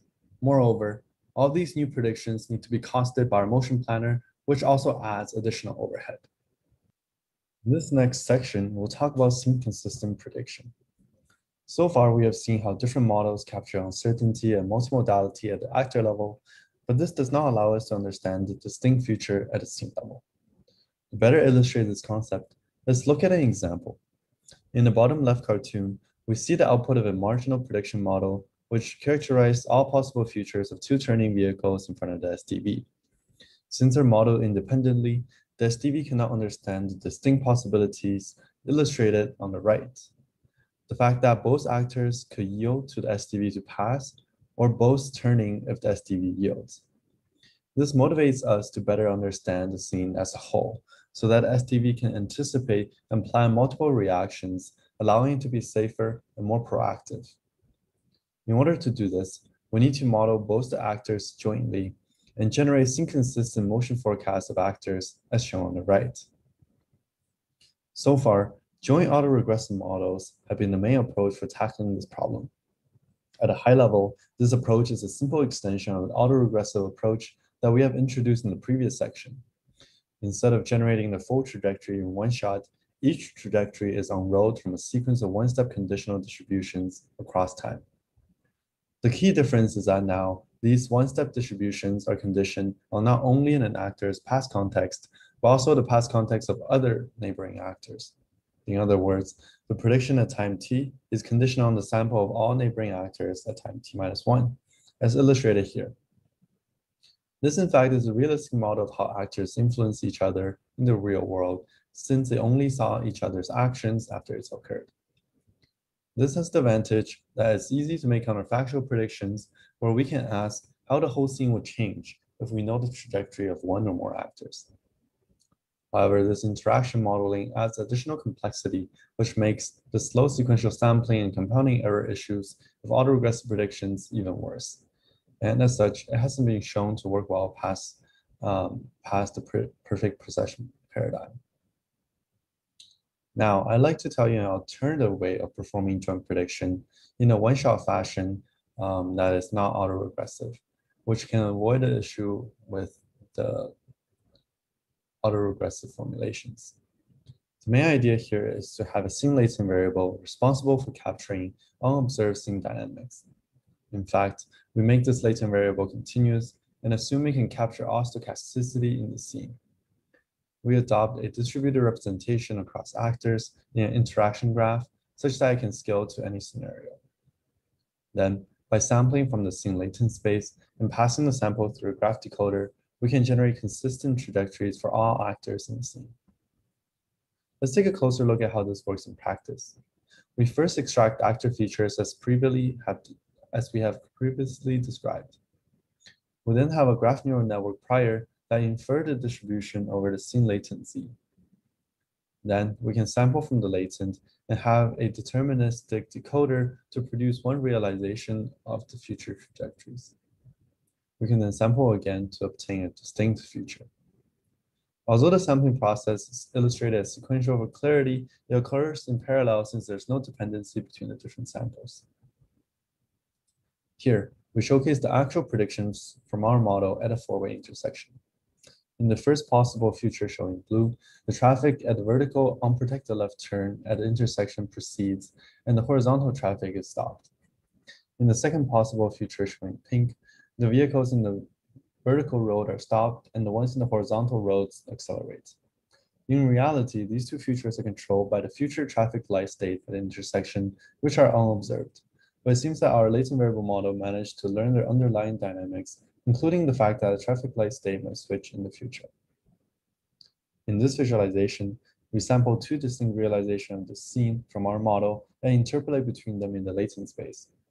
Taking a look at the top left example, we see that our model captures high-level modality of the vehicle going straight through an intersection versus turning right. As we interpolate between these two possible realizations, the trajectory snaps from one to the other, accurately capturing the fact that something in between is not realistic. On the top right, we see the model captures the intersection interaction between the horizontal traffic and vertical traffic, where the actor nudging out only if the horizontal traffic flow yields. Now, in this qualitative video, we sample 50 scenes and aggregate them using transparency to show to recover the marginal distribution that's implicitly captured by our model. This also revealed the main drawback of our implicit generative model, which is the fact that it relies on Monte Carlo sampling for getting the coverage. However, having complete coverage of possible futures is often mission critical and safety critical. Relying on Monte Carlo samples can be risky since we concentrate too much on the main modes and can miss rare yet safety critical futures. A line work that aims to address the shortcoming of the sampling-based models learned to output a set of covering trajectories instead of random samples. Earlier work rely on vanilla Euclidean distance the diverse, as the diversity metric, which could deteriorate the prediction's precision. Instead, latest work on optimizing for downstream planning diversity is a promising approach that have been mitigated this problem. Next, let's look into a different way to look at future prediction, inspired by robotics literature, where we move away from reasoning about individual actors and instead predict the future at the scene level. Let's consider this scenario where the SDV is heading north at the intersection. Instance-based PNP model like the ones we've seen so far predict trajectories for a detected bounding box only if its confidence score is higher than a threshold. The, predict, the predictions are then passed to the planner to find a safe maneuver. However, if the confidence score is a little below the threshold, an object can be completely ignored by the PNP model and not pass the planner at all. This can potentially lead to some very unsafe situations. To tackle this problem, P3 predicts a semantic segmentation over time, which is totally instance-free. In this representation, each pixel captures the probability of that grid cell being occupied at a particular point in time by some semantic class such as vehicles or pedestrians. To do this, a recurrent occupancy model takes as input diffuse scene features that we've covered earlier and subsequently predicts stepwise occupancy offsets in log likelihood space. This output representation is very close to the safety clause planners typically employ, removing the need for any heuristic post-processing. Even though occupancy will allow the planner to penalize collisions, it will not have enough information to keep a safe headway distance with actors in front, as there's no sense of motion. To mitigate this problem, a dense temporal motion field can be predicted as well where two-dimensional vectors of the motion flow is predicted at each pixel. However, one could still end up with inconsistent occupancy and motion fields. Instead, one can predict only the current occupancy and warp it probabilistically into the future using the temporal motion field. This way, consistency between the two outputs is guaranteed. Here, we highlight the expressivity of the simple param parameterization. Even though there are no explicit instances, the model can sharply identify odd objects in the scene and predict highly complex multimodal distributions. For instance, in the example, it identifies that a highlighted vehicle might continue straight, turn left, or turn right at the intersection. We also observe multimodality in the pedestrians where it identified crossing the crosswalk or continuing along the sidewalk as potential modes. Finally, FIERY showed that with a variation on occupancy and motion parameterizations, instance segmentation can also be inferred heuristically. The main idea here is to use the future motion flow to trace back the identity of an object. As you can see in the rightmost image, each object has been color-coded based on their identity. Now, both instance-based and instance-free approaches have their pros and cons. Instance-based methods enjoy explicit reasoning about interactions, they're a compact, memory-efficient representation, they're close to other tasks such as traffic simulation, but on the flip side, post-processing is needed to identify the instances which we have seen could be unsafe. And the computation varies with the number of actors, which can be challenging in crowded regions. In contrast, instance-free approaches bypass any post-processing, enjoy constant runtime and a simple pipeline. They can capture any object shape up to resolution errors. However, they can be quite memory intensive and this prevents us from characterizing scene-consistent futures by sampling. In this last section, we'll discuss the loss and learning approaches that ties everything we talked about together. We will also touch on the various metrics for evaluating different type of prediction models that we've introduced. The main prediction objective is accurately reconstructing ground truth future trajectories. As such, most prediction models employ a simple symmetric reconstruction loss. In the non-probabilistic setting, this takes the form of distance between the ground truth and predicted waypoints, such as L2 or Huber loss for better robustness for outliers. In a probabilistic setting, we employ negative log likelihood of the ground truth waypoint under the predicted distribution. The issue with these symmetric loss is that they do not reflect well the impact on the downstream task of motion planning. This is because the decision-making process in a self-driving car is normally very structured, particularly relying on the map topology. Let us illustrate this with an example. The green trajectory here represent the ground truth's future behavior for the blue vehicle, and the red and blue trajectories are two predictions that have the same exact L2 loss, yet have very different impact in planning. In the left figure, if we predict the red trajectory, it will cause the SDV to swerve out of the road to avoid that collision. And in contrast, predicting the blue trajectory wouldn't have any major impact on autonomy. A similar story holds in the right image, where if the red trajectory is predicted, the self-driving car will think there's no obstacle in front and will accelerate and get too close to the blue vehicle, causing a future heartbreak and dangerous scenario. Based on these insights, it's natural to add auxiliary loss that incorporate our prior knowledge about what's important in driving. Now in our work, we have chosen to focus on the reachable lanes and the self-driving vehicle route. More precisely, we can first associate each vehicle to a lane and obtain its reachable lanes, shown as the green shaded area. Then we can reward predictions that stay within such an area and penalize going outside of it, like the red trajectories in the top left. There's some exceptions though. Since some actors behave in a non-compliant manner, as shown in the top right drawing, and we want our model to still capture this behavior, we will not apply the prior loss when the ground truth doesn't follow the reachable lanes. And finally, we can similarly reward high precision and recall of vehicles driving close to the self-driving vehicle route, making the distinction of being inside versus outside of it. As we have touched on in the previous section, it is critical to have the right upper representation in order to capture the multimodal uncertainty of actors' future trajectories. The most prevalent approach, as we've shown, is representing distribution as a mixture of Gaussians. However, as many works have pointed out, naively using the same log likelihood loss often encounters some optimization issues, which results in mode collapse and poor diversity. In other words, the learned model will fail to recover less likely, but also mission critical possibilities. This is because in the dataset, we only observe a single feature and as illustrated on the bottom left, applying the loss on all predicted modes will discourage the model from generating diverse predictions. As a result, many works have explored alternatives to encourage diversity. And the most notable example is the variety loss, which only selects the mode with minimum loss for learning.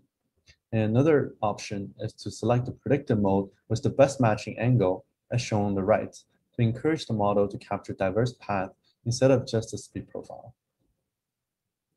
Now, putting these two ideas together, let's take a look at our work on incorporating prior knowledge in multimodal prediction. Following previous work, we used the same variety loss for likelihood-based training. First, we define the true mode as the one where the mean is closest to the ground truth trajectory, which is shown in green in the diagram below. In this case, the mode being selected is the gray one.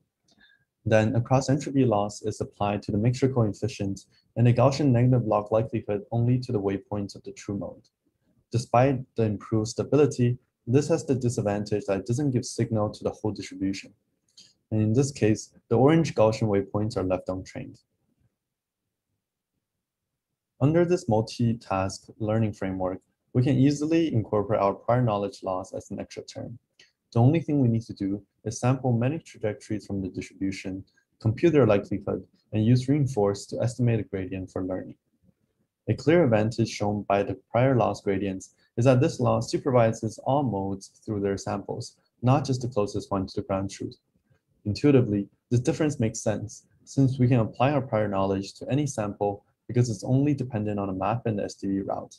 In contrast, we only observe one future realization for likelihood-based training. Let's take a look at a qualitative visualization. The changes of adding our prior loss are very evident. As you can see, compared to the baseline, the distributions become less entropic and follow the map better, while still being able to capture non-compliant and off-road behaviors.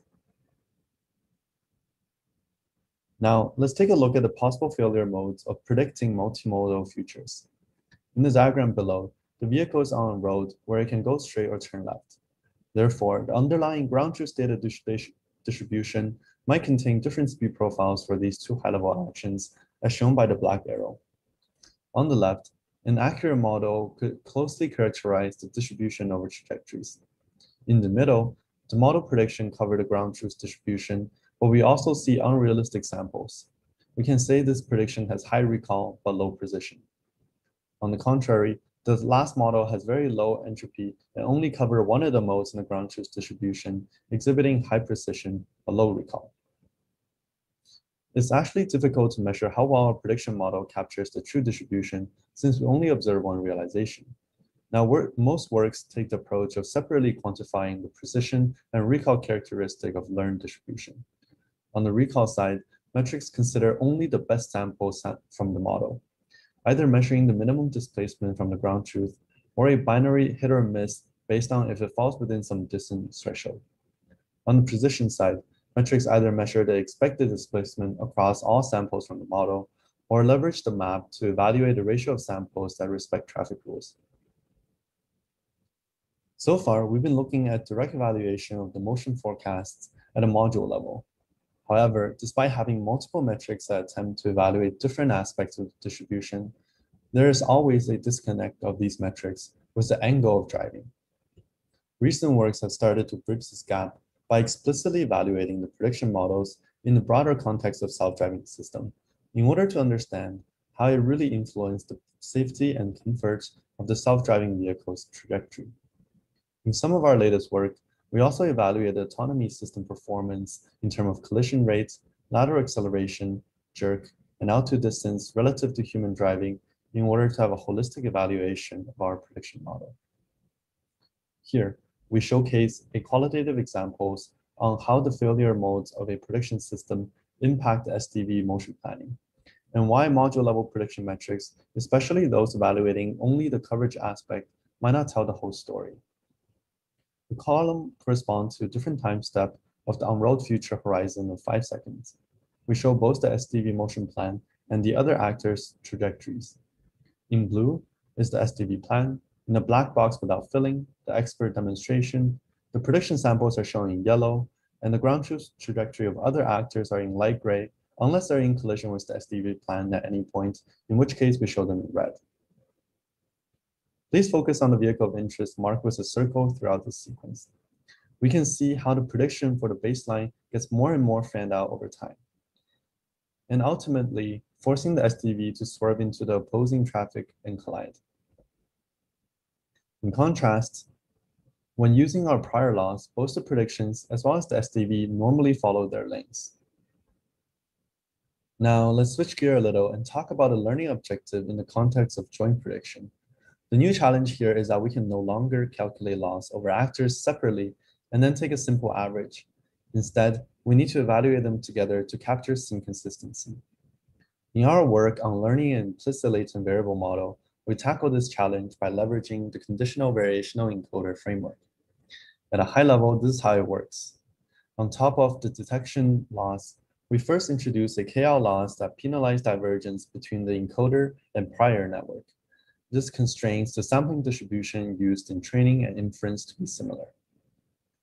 Then we use the encoder-decoder network to convert the ground truth trajectories into a scene latent distribution and then sample and decode it back. Then we can apply a simple distance-based reconstruction loss on the decoded trajectory. This process of encoding and decoding ensures that the loss is applied at the scene level rather, rather than on the individual actors. Now, to measure the performance of scene consistent motion forecasting, the metric also needs to reason about all actors together. Latest works have proposed three types of metrics. First, we have the scene level displacement metrics, which evaluate displacement from all actors in the scene rather than taking average over actors.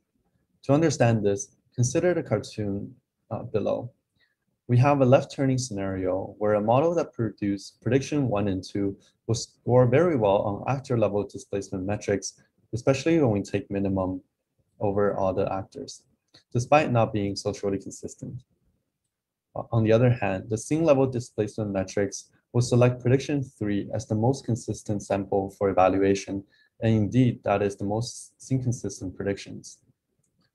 And secondly, we can also extend the normal binary hit or miss metrics to the inconsistent prediction setting by similarly requiring hits for all actors in the scene for it to be considered a hit overall. And lastly, by varying a metric, by varying a threshold on model confidence on predicted scene samples, we can further summarize the miss rates in a PR curve similar to detection. Lastly, let's take a look at prediction loss and metrics in the instance-free setting. Designing loss for instance-free prediction is actually very simple. Occupancy at each pixel is trained with binary cross entropy loss, and this is averaged across space and time. One important aspect is to be able to balance positive and negative pixels, namely when it's occupied or not, for which hard negative mining is used. And when used a flow-based parameterization, this loss also provides supervision to the motion field. The multimodal motion field, where multiple motion vectors are predicted at each pixel, can be trained similar to the multimodal trajectory prediction using a variety loss that supervises the closest mode to the ground truth on the foreground pixels in order to encourage diversity. Since the occupancy is a binary classification per pixel, we can measure its precision recall curve to measure how well the predictions are ranked. In other words, whether a more likely prediction actually is occupied more frequently than a low probability one. This, however, does not measure how well calibrated are the probabilities, which can be important for accurate risk assessment. For that, we will leverage reliability diagrams. When inferring the instance segmentation as well, a video panoptic quality metric can be employed to quantify how well instances are tracked over time. And finally, the motion can be evaluated with simple regression metrics, such as the foreground, foreground L1 error. Now, this brings us to our conclusion. We have seen that learning a rich representation of the scene is the crucial foundation for accurate motion forecasting. In this tutorial, we explore how to encode tracks, map context, and actor-to-actor interaction effectively. And also more importantly, we show how they can all be tied together in a joint perception and prediction framework with unique benefits. Furthermore, we highlighted the, the importance of capturing uncertainty and multimodality on autonomy's safety, and went over the key techniques in representing multiple uncertain futures. Now, towards a holistic and interactive understanding of the future, conditional prediction and scene-consistent joint prediction is becoming more and more critical for enabling safe and proactive planning via contingencies. And finally, we have seen that instance-free PNP is a promising direction that pre presents a simple and effective alternative. And this concludes our tutorial on prediction. Thank you very much.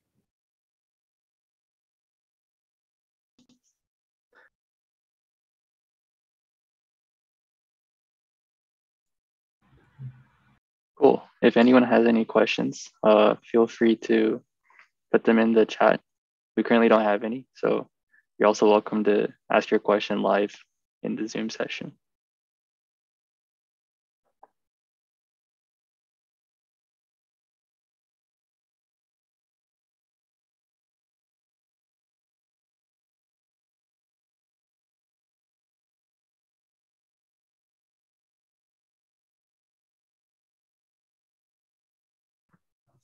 Uh, may I ask two questions? Yeah, sure. Uh, the first question is uh, how to do the geo split so that can construct the uh, topological structure uh, in the uh, in your project.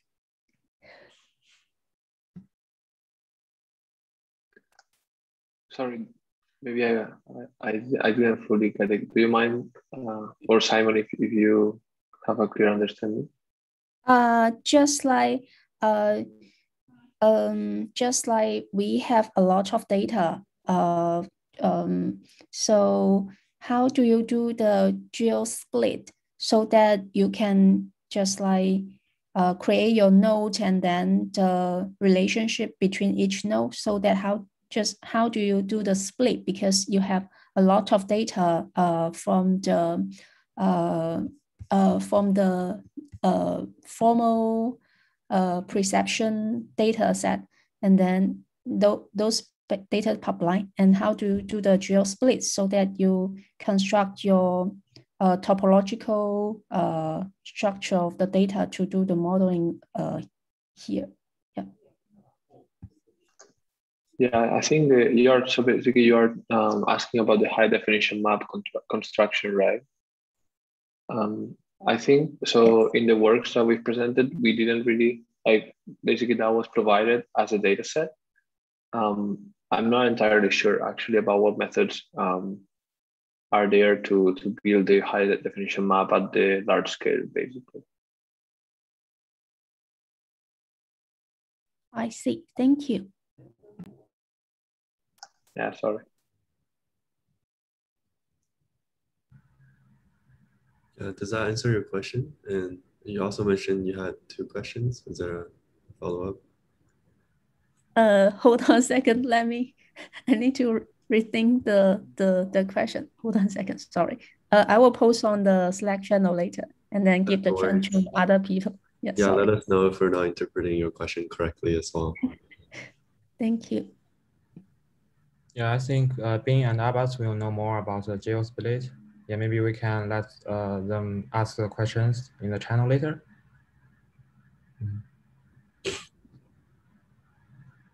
Cool. Sounds good. If there's uh, no other questions, uh, since we're a little bit behind schedule, we can go ahead and instead start with the motion planning session. Cool. Thanks. Hi, everyone. I'm Wenyuan Zeng, a research scientist at Waabi. In the following, my colleague Abbas and I will give a tutorial on learning-based end-to-end planning approaches. But before we directly jump into details of these approaches, let's take a look why we need them in the first place.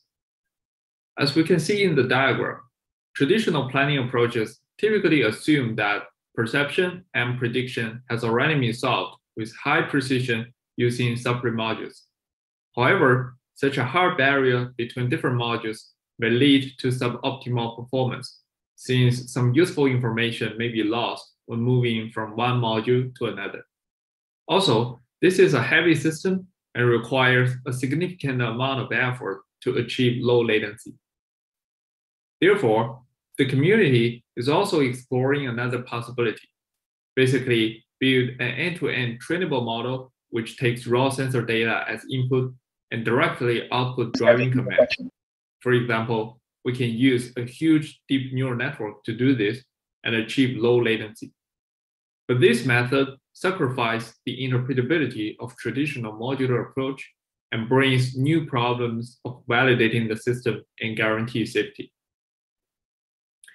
Based on these concerns, we can go one step further.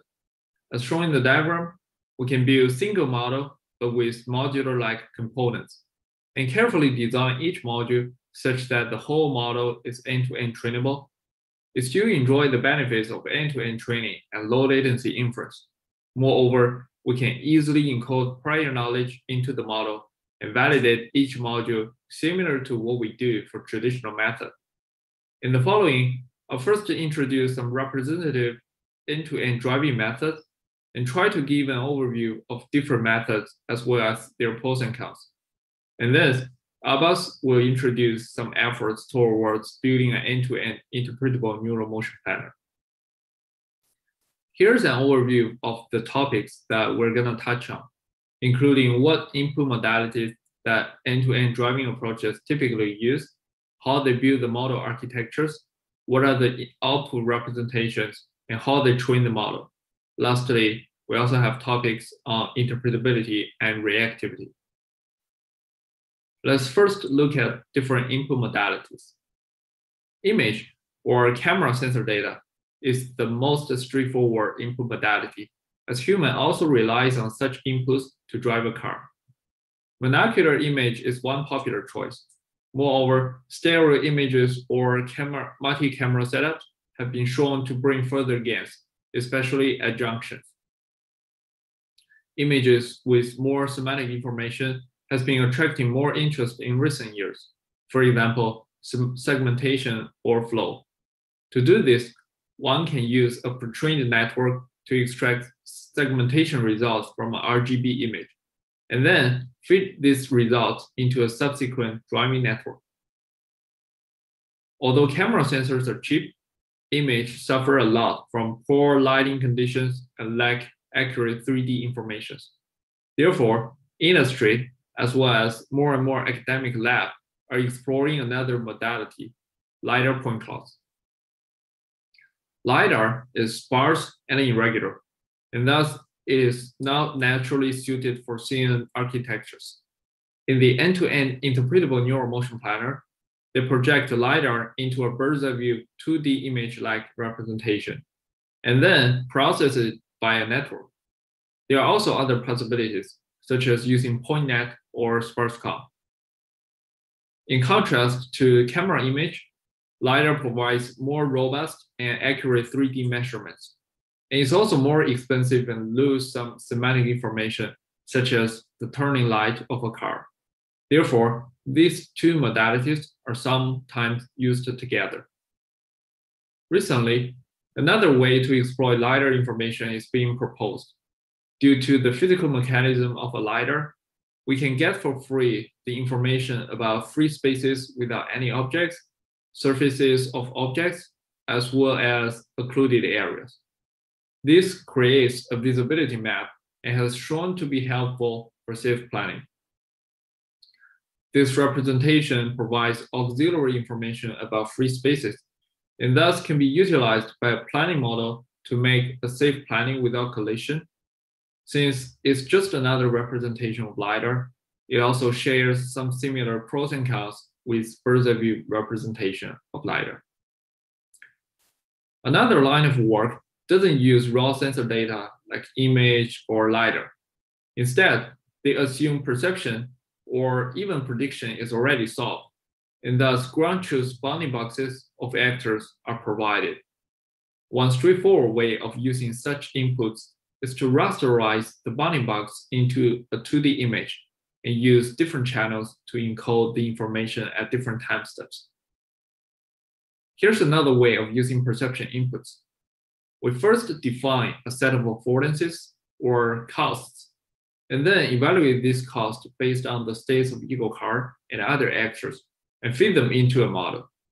For instance, in jointly learnable behavior and trajectory planning for self-driving vehicles, the others uses a set of costs, one of which is the ego car's distance to other vehicles, as shown in the figure.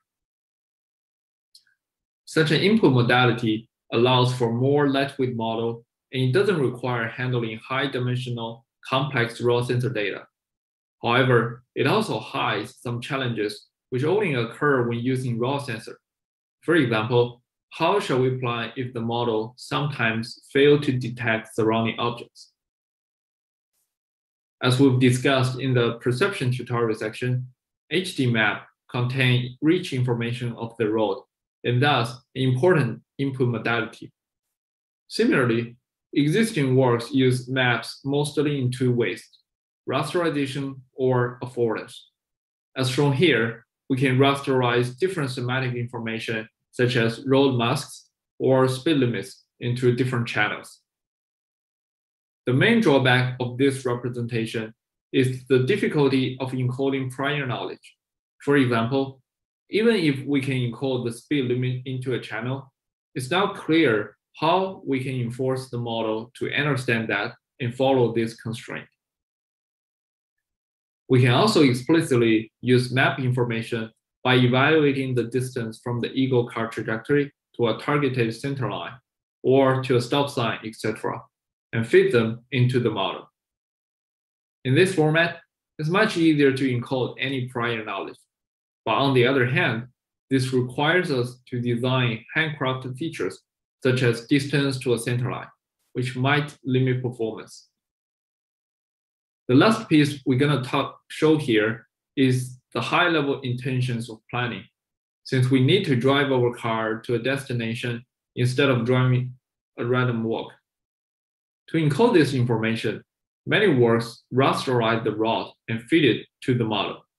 This route can be generated with a route planner outside of the planning model. Another line of work directly inputs a high-level command into the network, such as lane change, keeps lane, stop, etc. One popular way of doing this is to predefine a set of possible commands and train a neural network header for each of them. Then during inference, one can easily choose the corresponding header based on the high-level command. Next, we discuss model architectures for end-to-end -end planning. In this area, there's not yet a standard model architecture similar to ResNet in vision tasks. However, most work shares similar ideas about how to design a model. The core part is, of course, CNNs, RNNs, or MLPs. CNNs are used when the input is images or rasterizations, and RNNs are used to encode or decode temporal sequences MLPs can be used to process discrete or low-dimensional data, such as high-level commands. Moreover, all three of these architectures can be used together when the model has multiple input modalities. Now, let's take a look at different output representations. The most straightforward way is called actuation. For example, the model can directly output steering or acceleration values. An alternative approach, which attracts more interest these days, is to first output a set of waypoints representing the future positions of the ego car. Then we use a PID controller to smooth the waypoints and generate a dynamically feasible trajectory. The waypoints representation can be easily visualized and help us gaining insights to improve the model. Both of these representations are pretty simple and well studied in imitation learning literature. However, it's hard for us to encode prior knowledge to the model, such as driving along a lane and without collision. Inspired by the traditional planning approach, cost-based methods compute costs from models and then use this cost to plan a trajectory. The core idea is to sample a large variety of trajectory sample first, use a model to assign a cost to each of them, and then pick the minimum cost trajectory as the final planning. We'll explain this in more details later in the interpretability section. Here, we just show one example from the end-to-end interpretable neural motion planner. As shown here, the learned cost map, which is the colorful region in the center, can nicely guide the ego car to follow the lane, as well as nudge around a parked car. In contrast to actuation-based method, cost-based methods are more interpretable. But one challenge here is that sometimes the training might be higher since we don't have direct supervision for the cost value. Except from these two main paradigms of actuation and cost, there are also other possibilities. For example, a model can output values for a set of predefined affordances, such as distance to a center line or to a vehicle. Or a model can also output results for some auxiliary tasks in addition to the planning output, such as object detection or segmentation. This is believed to help model better understand important semantic information in the scene. Having discussed various planning models, let's now take a look at how we can train these models. A dominant paradigm for training these models is imitation learning. To do this, we need to first collect a dataset consisting of pairs of scenarios and expert demonstrations. After conducting a forward pass, the error between the model output and the expert demonstration can be evaluated, and the training objectives will be to minimize this error. The main difficulty here is the distribution shift between training and inference. To address this, data augmentation is widely used. For example, one can add in perturbation to the expert trajectory during training, as shown in the red dot. The corresponding input image will look like this. The left one is the original image, and the right one is after perturbation. This will help get more diverse training samples. Alternatively, we can try to collect and label more diverse data. After training a model with the current dataset, we can deploy the model on a car and let it actually drive the car. Whenever a dangerous behavior happens, an expert will manually correct the planned trajectory. This data can then be added to the dataset, which will in turn be used to train a better model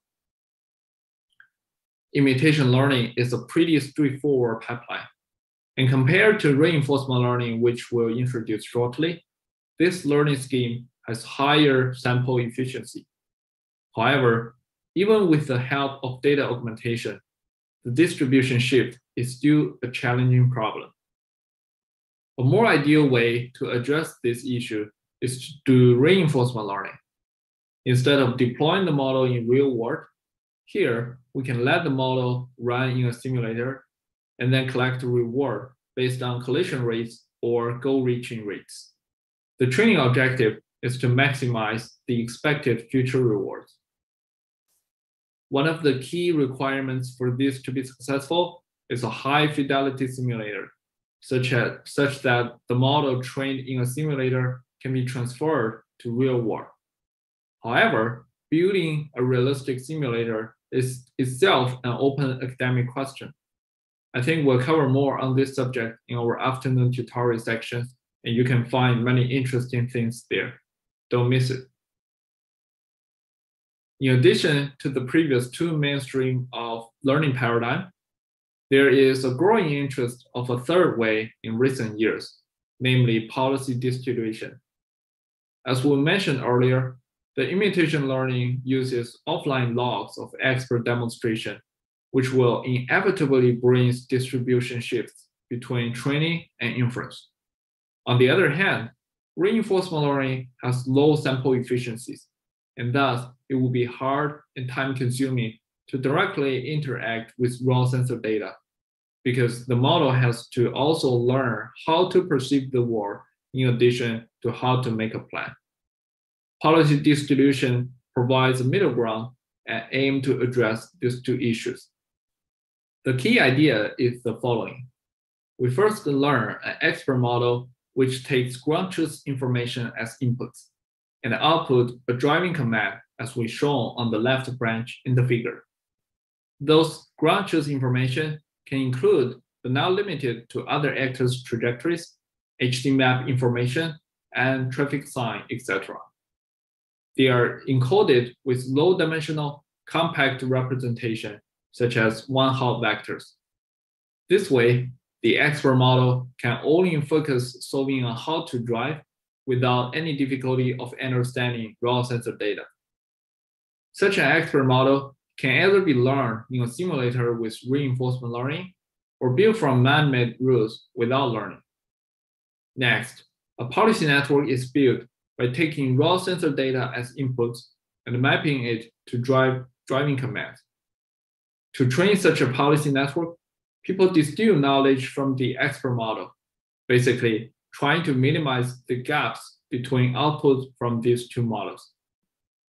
Such a supervised learning pattern can address the low data efficiency issues that reinforcement learning used to have. Next, Abbas will talk about another two topics, basically the interpretability and the reactivity. Hi, my name is Abbas, and I'm a researcher at Waabi. I'll present the rest of this tutorial section. We have now come to one of the most important and difficult challenges in end-to-end -end motion planning, the interpretability of the driving model. Since self-driving is a safety critical application, we want the system to work in a way that we can understand. This way, we can obtain an interpretable traceback whenever an error occurs. Or even better, perhaps we can also guarantee that the system is error-free to some extent. In our lab, we try to push the boundary in this direction. Our first work is the end-to-end -end neural motion planner published at CVPR 2019. It uses a deep net to produce a learned cost volume and improve the power of the deep network with detection and prediction tasks. Later, we proposed DSDNet, Deep Structured Self-Driving Network, which further improves performance and interpretability by outputting a non-parametric multimodal prediction and planning condition on the prediction. The third work investigates how to bypass detection post-processing which may lose useful information. We propose perceive, predict, and plan, safe motion planning through interpretable semantic representations, where we replace instance predictions with, with an instance-free semantic occupancy representation and use learned interpretable planning cost over that to produce planning. Finally, we will present MP3 that proposes a unified model to map, perceive, predict, and plan removing the reliance of the autonomy software on HD maps. Now let me briefly explain the main idea behind each of them. Here's the model of the end-to-end -end interpretable neural motion planner. Specifically, we feed LiDAR data and HD map into a backbone CNN and extract a backbone feature map. From there, our output decodes detection bounding boxes of actors in the scene as well as their predicted future motion, as shown in the top right. To conduct planning, the core idea is to generate cost volume using the convolutional networks. Each channel in this volume represents a future time step, and each pixel in the volume represents the cost of traveling to that location at that time step. Then we use a physically valid trajectory sampler to sample a wide variety of trajectories given the current ego pose. The tra these trajectories are guaranteed to follow vehicle dynamic constraints. The cost of each sample trajectory can be obtained by indexing the cost volume at the waypoints along, the, along that trajectory. The minimum cost trajectory will be our final planning output. Importantly, all computations from raw data to final trajectory can be done in a few milliseconds. Our model achieves much better quantitative results over storm baselines. But here, let me show you a few qualitative results which I think are more interesting. In all the figures, blue boxes depict detections, red boxes depict the ego car, and the, the colorful region is the low cost region predicted by our model describing where the ego should drive. On the top left, we show an example of lane following. On the right, on the right, we show an example where the ego encounters an intersection. Here, our model shows nice multimodality. The bottom two figures show that our model can navigate along the lanes while avoiding collisions with other cars. Here is a short demo. Our model takes LiDAR and HD map as input and outputs detections, predictions, as well as motion planning cost volume. We highlight low cost regions for different time steps using different colors. Our planned trajectory is shown in red and ground truth trajectory is shown in blue. As we can see here, it follows the lane perfectly. Note that our cost volume captures multimodality. In this case, we can either go straight or change lanes. When approaching intersections, we can either go, uh, go uh, straight or turn right. We can also handle blockage.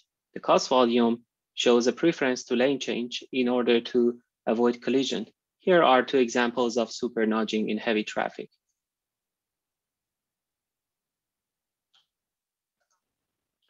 However, there are still drawbacks. First, planning is not conditioned on the prediction results, which may result in inconsistent and dangerous planning. Second, the model only predicts a single mode future, but the future is actually uncertain. To address these drawbacks, we propose DSDNet, a deep structured self-driving network that jointly reasons about perception, forecasting, and motion planning. Specifically, our method has several advantages. Firstly, computation is shared between modules and thus allows for real-time inference. Secondly, our method explicitly models socially consistent multimodal uncertainties in the future. And finally, our learning-based planner leverages the power of deep learning and takes traffic rules into consideration as well in order to guarantee safety. Now let's have a look at how the model works. Given LiDAR point, point clouds and an HD map as input, we have a neural network to produce backbone features, which will be shared for all our models. We first use these features to, to perform detection. Our next step is to predict the future behaviors of all actors, as well as their uncertainties, which are shown as colorful regions in the figure. Here, different colors mean different future time steps.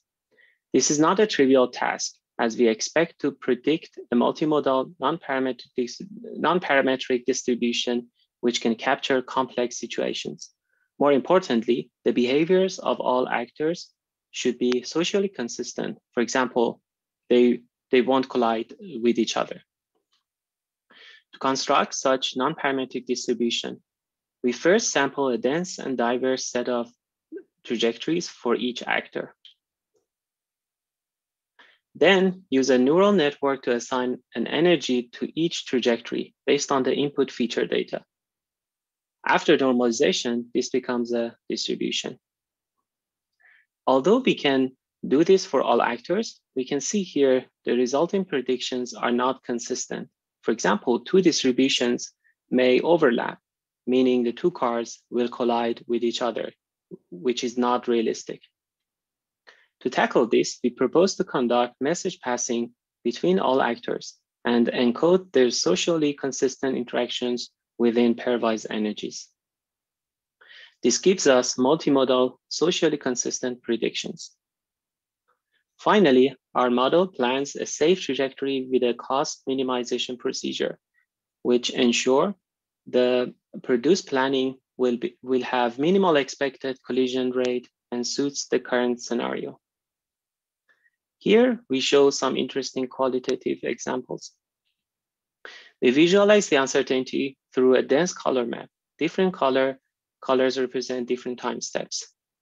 This is the uncertainty at one second into the future. This is two seconds into the future. And here is three seconds into the future. As you can see, our algorithm really captures all, all the uncertain uh, futures for the car in the circle. Here are more examples. The top left shows that our model is certain about vehicle that follows a straight line. Simultaneously, it is also uncertain about a faraway vehicle that is turning. The remaining three figures show some interesting driving behaviors, such as perfectly following a curved lane, turning left, and nudging around a parked vehicle. Here's a short demo of our model. As you can see, our model nicely captures multimodality, especially for vehicles that are approaching an intersection. When a vehicle is driving on a straight line, our model is certain about its direction and but uncertain about its future velocity. Here is an example where we perfectly predict that the vehicle is stopping and we plan a nudging uh, trajectory to avoid collision with the parked vehicle. And this shows our model can follow the lane perfectly. So far, we've discussed two efforts on how to improve interpretability. Both of these works detect surrounding actors first and then conduct planning based on the detection results.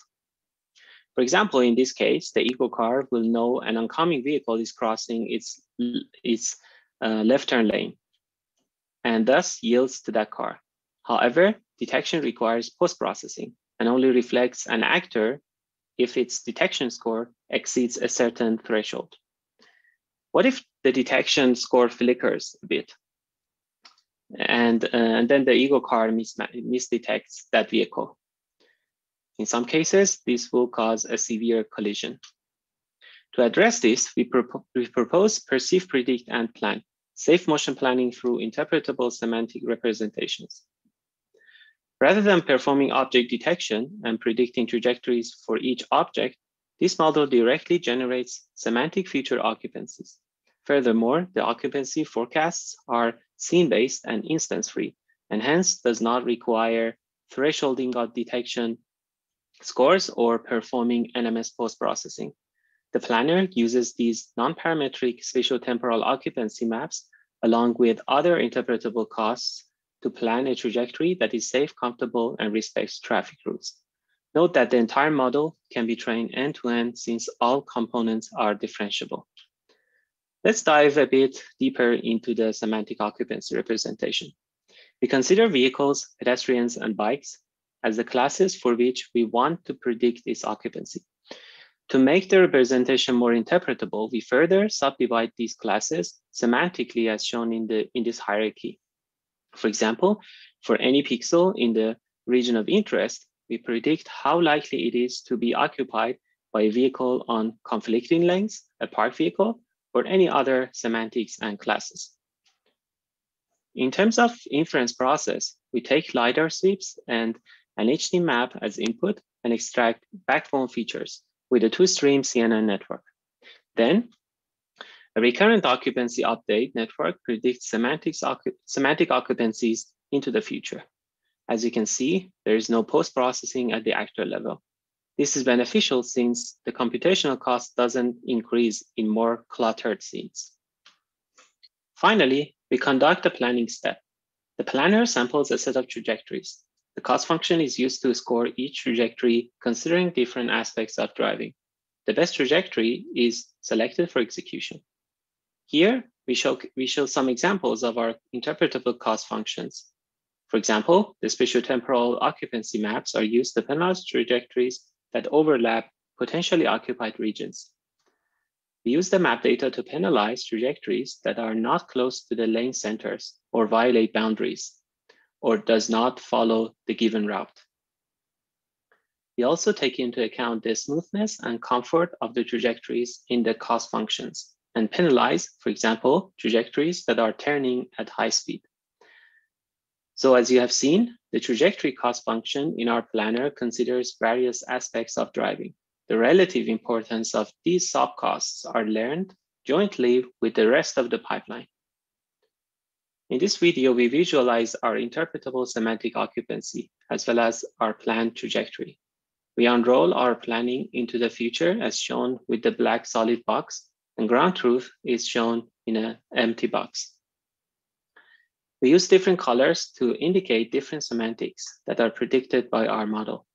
As you can see, our semantic occupancy really captures where the other actors are. And as time goes by, the occupancy map changes to provide information of, of where the other actors will go in the next few seconds. And then our planning can use the interpretable costs to produce a safe and compliant trajectory. The methods presented up to now use a high definition map which eases autonomy by providing right geometry and semantic priors. However, this can be unsafe due to the reliance on centimeter level accurate, accurate localization. In the example shown, an inaccuracy makes the SDV follow the wrong path in red, driving into the moving traffic. Moreover, map annotation is very expensive and hard to scale. In contrast, mapless driving has much more relaxed requirements and can be done just from sensor data and a high-level command. This leads to an approach that is fully scalable to new regions. In our proposed mapless driving approach, MP3, we redesigned the autonomy stack to tackle additional challenges such as the lack of prior information about the lanes. Let's go over our proposed model. We employ a history of LiDAR sweeps as the sensory input to our model, voxelized in bird's eye view.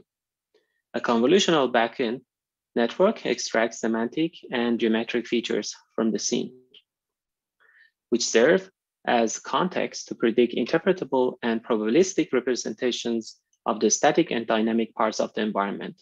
In other words, an online map that tells us where it's possible to drive and a dynamic occupancy that estimates how the obstacles might move into the future. These scene semantic representations are passed to the motion planner to output a trajectory by first reasoning about the route, then sampling candidate trajectories, and finally scoring them with respect to various aspects of driving uh, to pick the best one for execution. We now dive deeper into the different components and representations in our model. We leverage convolutional neural networks to predict an online map composed of the road where the vehicle are, uh, vehicles are allowed to drive, the intersections controlled by traffic lights or signs, and the lanes that we can drive legally on. For dynamic obstacles, we propose a novel occupancy occupancy flow to consistently predict which space will be occupied by other actors, as well as their motion field. Given our predicted online map and a high-level command coming from any navigation platform, such as Google Maps, the desired route is modeled as a dense spatial map predicted by a switch of CNNs. For example, when the command is turn right in 50 meters, the output should be the green, uh, green region in the image.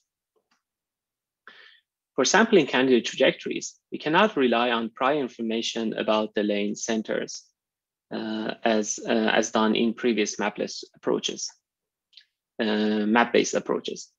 In, in order to avoid unrealistic trajectories, we use retrieval and clustering, where sets of expert trajectories are grouped based on the initial state of the SDV. The examples show the, the cluster for four different initial conditions. The planner then interpretably scores each of the sample trajectories, taking into account various aspects, including keeping away from areas with predicted occupancy to avoid collision, promoting a safe headway based on the relative velocity penalizing trajectories that move out of drivable area or go, go out of reachable lanes. Moreover, um, we would like to move along the desired route and have a comfortable motion. Here are some examples of our closed loop simulations where we initialize the SDV in interesting states from the log. As it executes the plan actions, we can see how the plan shown in blue diverges from the trajectory that the expert performed when the log was recorded shown in black. Here we show an interesting scenario where the SDV exhibits cautious behavior around fast moving traffic, similar to what the expert did. In this example, other in this other example, we first highlight accurate route prediction for a left turn in an, a typical map topology.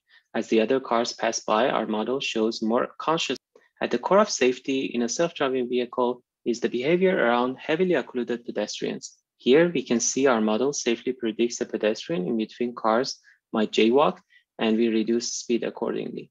MP3 can also navigate a heavy, heavily crowded five-way intersection with an atypical topology by driving cautiously. Finally, we can see how it yields to pedestrians at the crosswalk.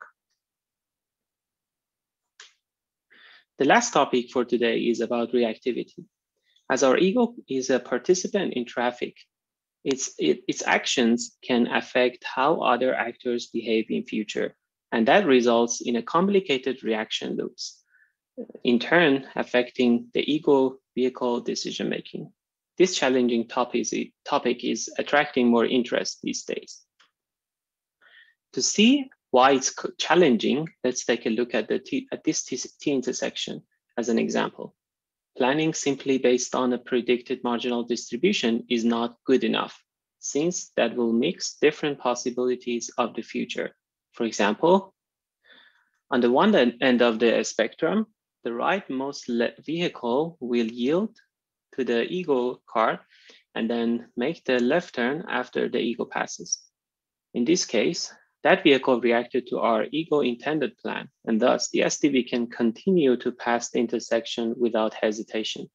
Therefore, the first difficulty is that a planner should be able to consider the reaction, um, um, the reactive uh, behavior of other actors, otherwise it will be over conservative. On the other end of the spectrum, there could be some cases where the rightmost car dangerously turns left without paying attention to our ego car. Such a situation is less likely, but not impossible.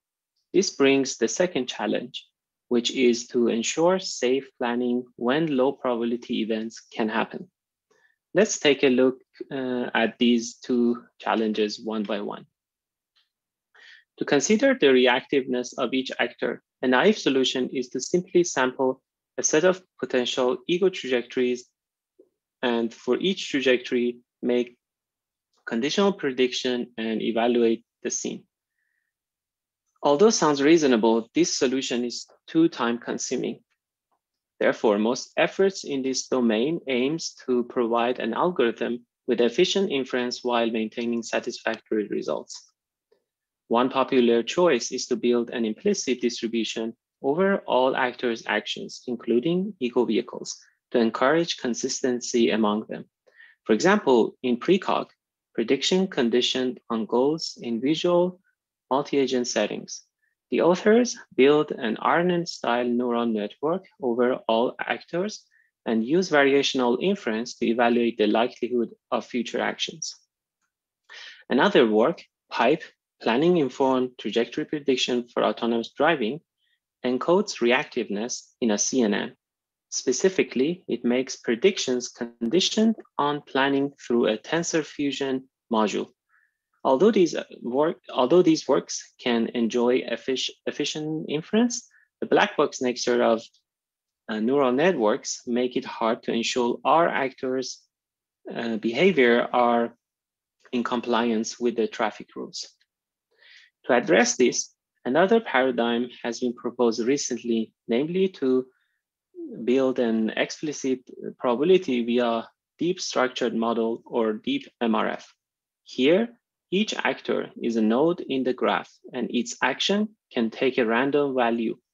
Again, this line of work can enjoy mature efficient inference algorithms from graphical model community, such as belief propagation. In addition, the interactions between ego vehicle and other actors are encoded through pairwise energies, which can be designed to maintain certain structures. For example, a collision-based energy can be used to ensure actors will not, will not be colliding to each other in, in any case. The downside, though, is that sometimes the structures might be too strong and not amenable to complicated scenarios. How to design learnable pairwise energy would be an interesting future research direction. Now let's take a look at how we can deal with some very unlikely events. Previous planners have tried to find a single optimal trajectory. Since the future is dominated by some high probability event, the planner would be encouraged to, for example, to plan a to plan to continue in a straight trajectory in this T intersection. However, this is not safe when unlikely events can happen. However, a braking maneuver, although safe with respect to the very unlikely event, would be completely unnecessary most of the times in this example and would actually be uncomfortable and socially confusing for other, for other drivers. Our uh, planner proposed in Lookout, diverse multi-future prediction and planning for self-driving follows a pre model predictive style, where we choose a single action to execute now. Along with this decision, we also find feasible long-term trajectories to react to all predicted futures. To achieve this, we first sample a set of short-term actions, then for each action, we sample a set of possible long-term future trajectories that can correspond to various behaviors. To find the best action, we perform the following optimization. The immediate action should be safe with respect to the worst case, worst case prediction. Moreover, the cost to go should not be overly conservative as long as there is a good response to each future. The cost function C contains terms related to safety, progress, and comfort. For each action, we find the optimal response to each scenario from the corresponding long horizon trajectories. First, for the blue uh, scenario, then for the red future scenario. The cost of an action is then computed by the expected cost of contingent plans and the cost of the actions itself, of the action itself. As an example, the cruising action on the left is costly since the safest response to one of the future scenarios include a hard and hence high cost. In contrast, a light braking um, a light braking action shown on the right enables safe and comfortable contingent plans for the future.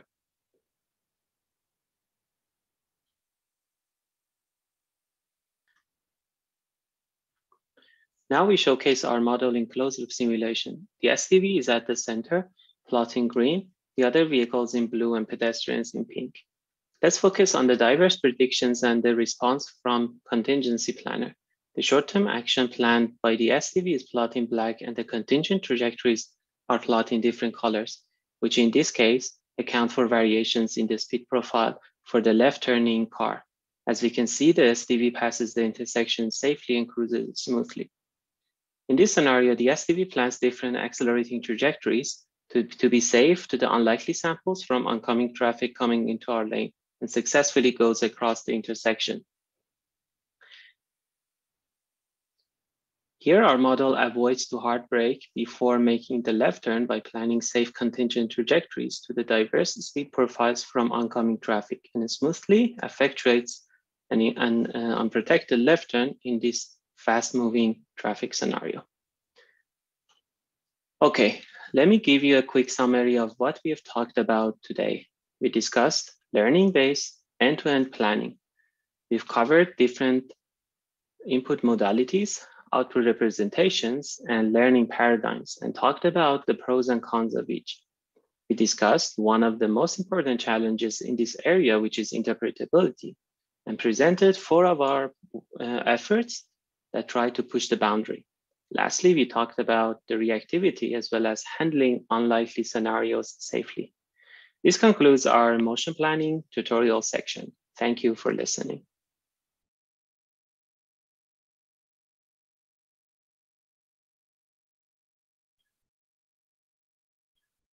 Hi, everyone. Great, thanks. So we'll have a couple more minutes for questions. Feel free to ask your questions live on Zoom or type them into the chat. Thanks.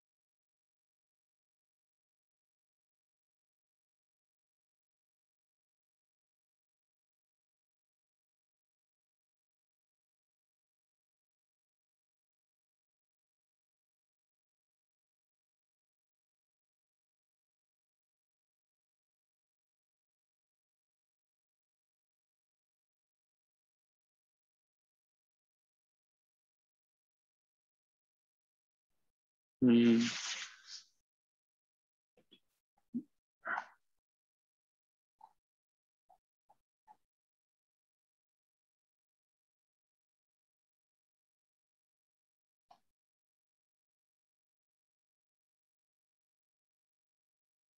Uh, okay, there is one question uh, about Wenyuan. I'm not sure if you may know the answer to this one. It might not be as related to planning, but it was mentioned before that optical flow would be used to cancel out ego motion for informed tracking.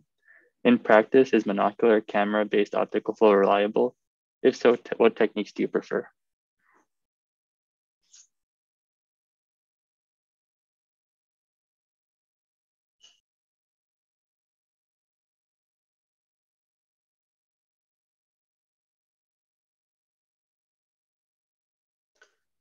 Yeah, I think this might be more a perception or prediction question, right? Uh, so maybe Sergio if or Ben, um, if they have any any comments here. Yeah, if, if not right now, uh, I'm sure we can get to the question later on and respond in the chat. Uh, for now, we can go ahead and get started with uh, the V2V session if there's no other questions. We'll try to get to the, that one in the chat later on. Okay, cool. Thanks. Hi, my name is Siva and I'm a researcher at Waabi. In this session, we will be discussing V2V, vehicle-to-vehicle -vehicle communication. A core component of self-driving is perceiving the world and identifying the actors in the scene, such as vehicles, pedestrians, or cyclists, and forecasting their future motion. We call these tasks perception and prediction. Prior works discussed in the previous sections of this tutorial unify these tasks into a single joint approach, which we call P&P. This joint approach shares computation between tasks for improved efficiency and performance. And significant improvements have been made during the past few years with deep learning and 3D point cloud processing to have better P&P, but issues still remain. For example, P&P suffers from low visibility in faraway areas, and occluded regions deal limited sensor data as compared to nearby and unoccluded vehicles. Model improvements and training techniques can only go so far to improve P&P when there's little or no evidence. We pursue another direction to improving P&P. Vehicle-to-vehicle communication, or V2V, allows a fleet of vehicles to cooperatively view the world from multiple viewpoints and communicate what they see with each other thereby seeing through occlusions and seeing further. So we can see that V2V may have potential in improving perception and prediction. And as we get closer to deploying self-driving vehicles at scale in the real world, it's important to think about how they can cooperate to better perform their tasks. With communication, our vehicles can leverage multiple viewpoints to better perceive the world, as well as distribute computation across multiple vehicles to enjoy better computational efficiency. These are important considerations for making roads safer for our civilians. But to properly use V2V, we need to determine the best way to communicate and utilize all this extra information. There are three main questions to consider in this task. What kind of information should we transmit? What's the best way to combine this information? And how can we minimize transmission bandwidth to communicate efficiently? Our work aims to answer these three questions. First, what kind of information should we transmit? Two options that immediately come to mind are to share the input sensory information or to share the perception and prediction outputs. Aside from that, there may be other representations of the scene as well that we can transmit. Let's first consider transmitting the sensor data, which we call LiDAR fusion. When we transmit sensor data, we gain the benefits of no information loss. Each SDV has access to the same information seen by others. And for certain sensor data, such as LiDAR, it's easy to combine this information in 3D. We just aggregate the point clouds. However, there are several disadvantages. Sensor data is large in size, as point clouds can be up to 100,000 points. And the more sensors there are on the vehicle, the more information there is to be sent, making it potentially not scalable. In addition, aggregating the LiDAR point clouds into the shared 3D space loses important information about which SDV viewed that observation. To perform LiDAR aggregation, we simply overlay the LiDAR sweeps that can be seen on the right. We then perform PNP on the final point cloud. And as mentioned before, this approach of overlaying has the additional con that viewpoint information is lost, as we did not know which point the sensor came from. We now review in more detail previous works that perform LiDAR fusion. For example, Cooper aggregates the raw LiDAR in 3D space in the same coordinate frame and then processes the joint point cloud. And this other work instead first voxelizes the LiDAR point cloud and then transmits and aligns the voxels, resulting in less bandwidth since the voxelized LiDAR is usually a more compact representation. Now our second option is to transmit the outputs of perception and prediction. The main advantage of this option is that messages will be very compact, as describing bounding boxes and trajectories require very few parameters compared to the LiDAR inputs. However, only transmitting outputs completely discards any scene context. And additionally, output parameterizations have limited expressiveness with just rectangular bounding boxes and a fixed number of waypoints. Then finally, taking the outputs from all the vehicles is prone to having false positives. So how does output fusion work? One simply overlays the bounding boxes and trajectories into the shared coordinate space from each vehicle, as shown on the right in the bird's eye view. Then one can filter out the overlapping instances using non-maximum suppression or perform a more enhanced fusion through tracking filter-based estimation. And so here are some works that do just that. This previous work first proposes to use NMS to remove multiple detections of the same instance, but suffers still from self-positives, false positives. To address this issue, they propose a hybrid approach that leverages either LiDAR fusion or output fusion, depending on the visibility of the actors.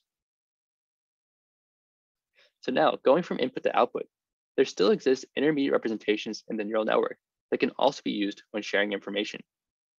In fact, we can get the best of both worlds by using these intermediate representations, as they are compact representations which still contain scene context. Furthermore, their expressiveness is not limited, as in the case of output representations, and information regarding viewpoint is not discarded, as in the case of LiDAR input fusion. Finally, using these intermediate features leverages distributed computation for multiple vehicles. But a question remains of how we can still aggregate these intermediate representations. One recent approach proposes to transmit the intermediate bird's eye view feature maps and then transforms them into the ego coordinate frame, and then perform element-wise addition of the feature maps to generate the final intermediate representation. Another work, F. Cooper, instead proposes to use the max out operator to aggregate these intermediate feature voxels. This is a bit better than just summing since it emphasizes important features and removes trivial ones. In our approach, V2VNet, we propose to use the transmitting of intermediate features and warping them into the ego vehicle like previous works. But instead with our aggregation, we fuse with the GNN to intelligently aggregate these feature maps and also encode time in a time delay compensation module to modify the feature maps since vehicle-vehicle communication can often have observation time delay. We now give some more details and an overview of V2VNet, the proposed approach.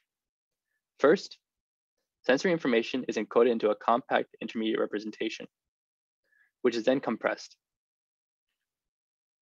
And then broadcasted to the other vehicles. The messages from the other vehicles are received and then decompressed, and all the features are aggregated with the spatially aware graph neural network. Finally, the aggregated features are processed to generate the final perception and prediction outputs. The key component of our method is a spatially aware graph neural network, which intelligently combines observations from multiple viewpoints seen at different points in time. We'll now discuss this component in more detail. First, each vehicle receives intermediate features in the bird's eye view, along with the timestamp of the message and the relative pose of the nearby senders.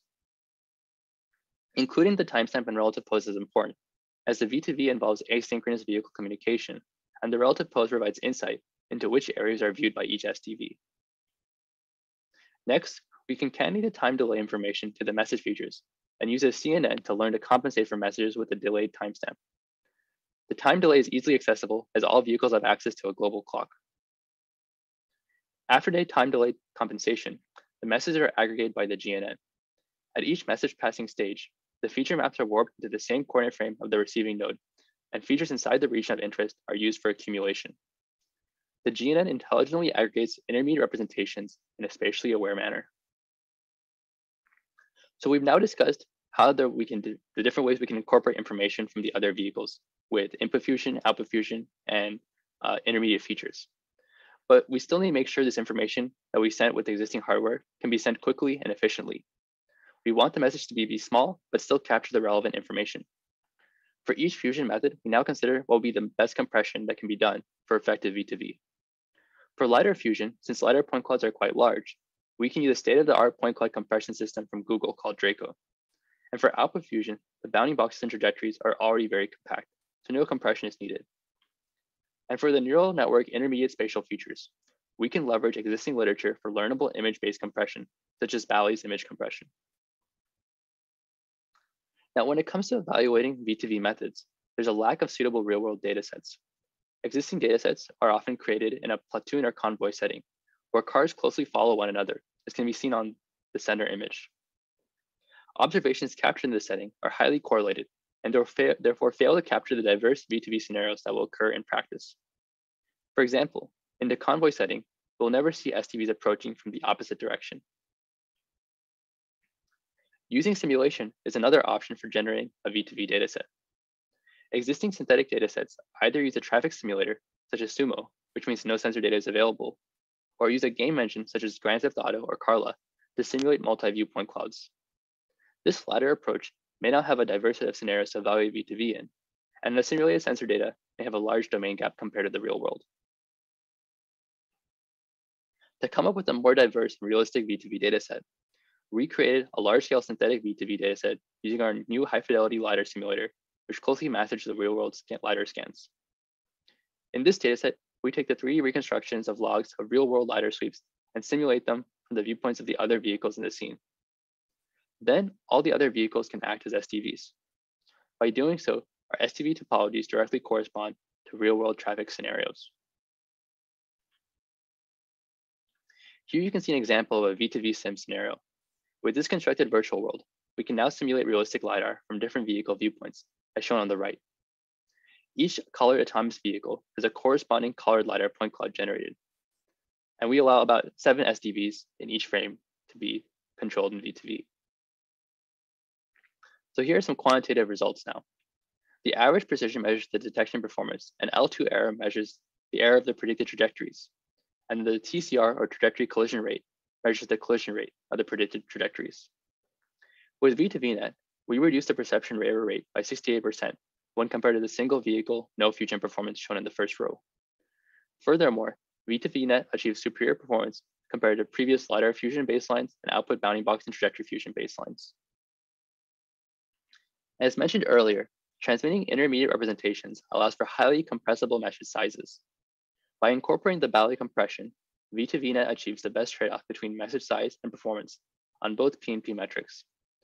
At 10 Hertz, our method only requires about 0.2 megabytes per second during communication, which is easily satisfied as the cheapest dedicated short-range communication hardware that provides only about 3 megabytes per second instead. So V2V performance in PNP tasks also increases with the number of vehicles in the network. As the density of the SDVs increase in the real world, V2V communication will become even more effective. V2V also provides dramatic improvements on faraway and occluded vehicles, as shown in the top row of the figure, since there is a significant lack of LiDAR evidence in these cases. Furthermore, V2VNet is particularly effective at detecting vehicles with high speed, as shown in the bottom row, beating LiDAR and Alpha fusion by a large margin. High-speed vehicles are often difficult to handle due to motion blur and rolling shutter. These effects are due to the fact that since the vehicles are moving, the LiDAR observations become warped, like the camera image on the left, making it difficult to predict where the object is at a specific point in time.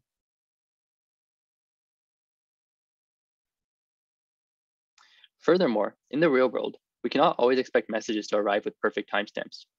It's important that V2V communication is robust to delayed messages. Here, our proposed V2VNet is much more robust than the other fusion alternatives. In this evaluation, we account for time delay in the output fusion by extrapolating the vehicle trajectories, but no compensation is done for LiDAR fusion, as extrapolating LiDAR point clouds is non-trivial. We therefore can see large gains made in V2V in improving PNP performance. So now I'll pass it on to James, who will provide further exploration into making V2V robust to localization errors. Thanks. Hi, my name is James, and I'm a research scientist at Waabi.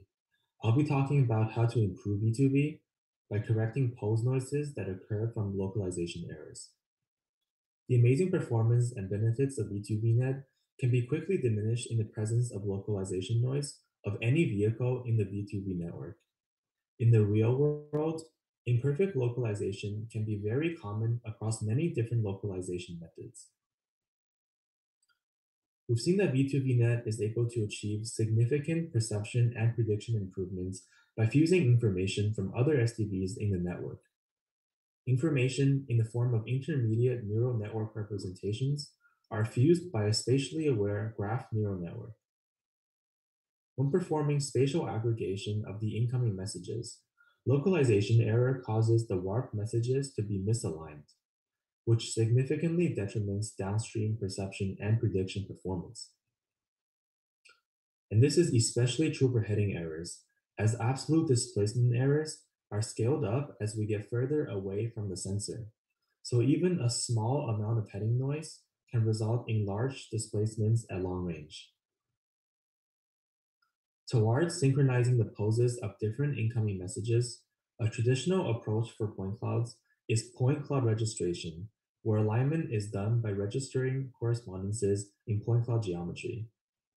This method has more recently been extended to let neural networks learn from data and predict registrations instead of using heuristics.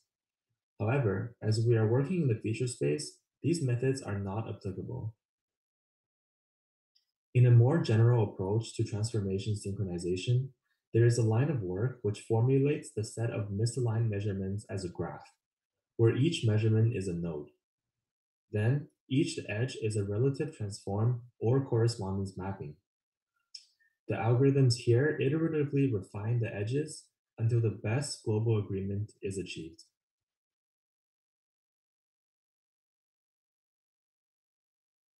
More recently, extensions to this formulation have been proposed with neural networks. In this work, the graph has weighted edges, since not all estimates of correspondences are equally reliable, and therefore a neural network predicts the weighting of these edges. Then, the algorithm alternates between updating the correspondences and the edge weightings until converging to a good global solution. Finally, another line of work formulates the set of relative transforms as a matrix. Intuitively, since the solution has all measurements aligned to the same pose, this will be a low rank matrix.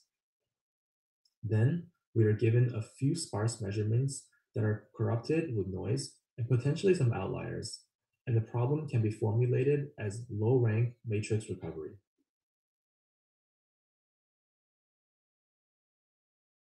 We propose a cooperative correction framework with three steps.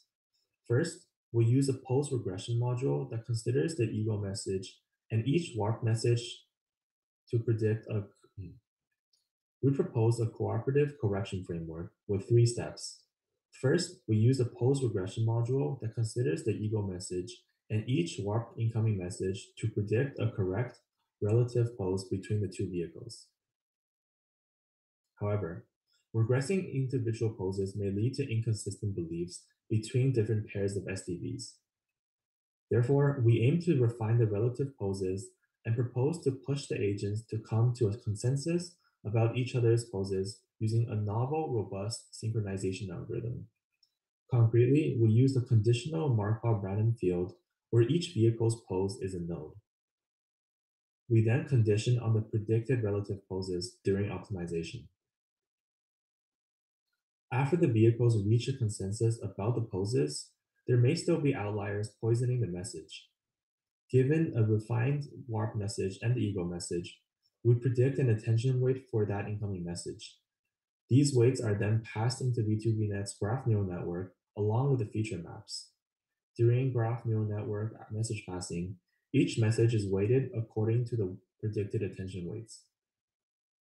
By doing this, outlier messages will have a very low weighting and will be discarded when aggregated by the GNN.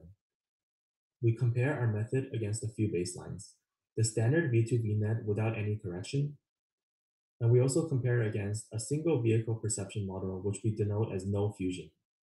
We also compare against V2VNet trained against pose noise, which we denote as data augmentation, and we compare against learn to sync, a state-of-the-art synchronization algorithm, which was presented previously. First, observe that without any correction, V2V communication quickly degrades to being worse than not having any communication at all. With our proposed method, we see nearly constant perception and prediction performance for noise seen in the training set, which is up to 0.4 meter standard deviation for positional noise and 4 degrees for heading. We also evaluate performance against noise greater than that seen during training, and we still see reliable performance of our model for these larger amounts of noise. Thanks for listening, and this concludes our session on vehicle-to-vehicle communication for self-driving. Hi. Hi, my name is Siva.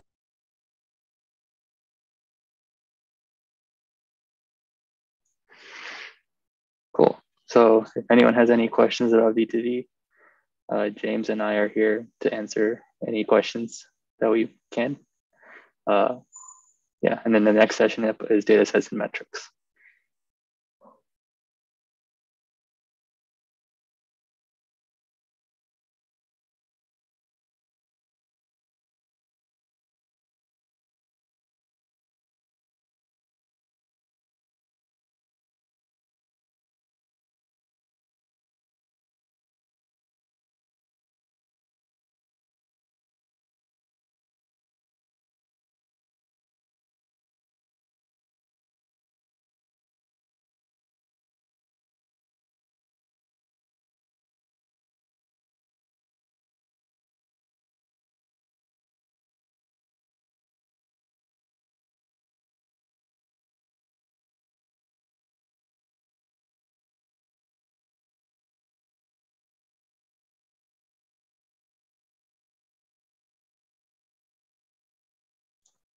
Cool. So anyways, we're uh, still, uh, we're now on track in our schedule. So we'll keep the remaining three minutes as a break and then we'll start at 155 for the data sets and metrics session. So feel free to stretch your legs and uh, take a break while we wait until uh, 155 to start.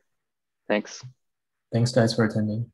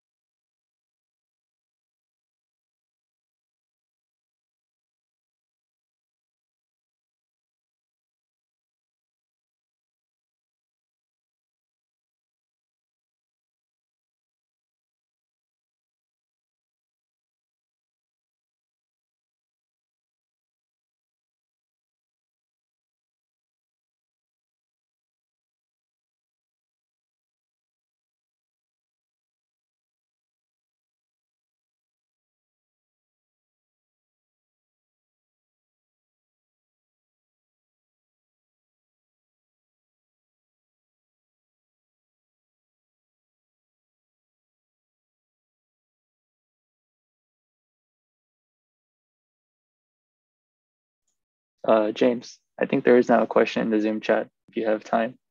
Um, is there any mechanism to correct or filter bad measurements made by the other vehicles? Or do you measure the consistency between all measurements obtained from the other cars?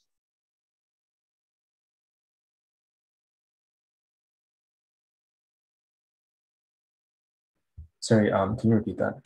Sure, yeah. So is there any mechanism to correct or filter bad measurements made by the other vehicles? Or do you measure consistency between all measurements obtained from the other cars? Yeah, so um, I guess kind of. So um, for the consistency, it's all relative.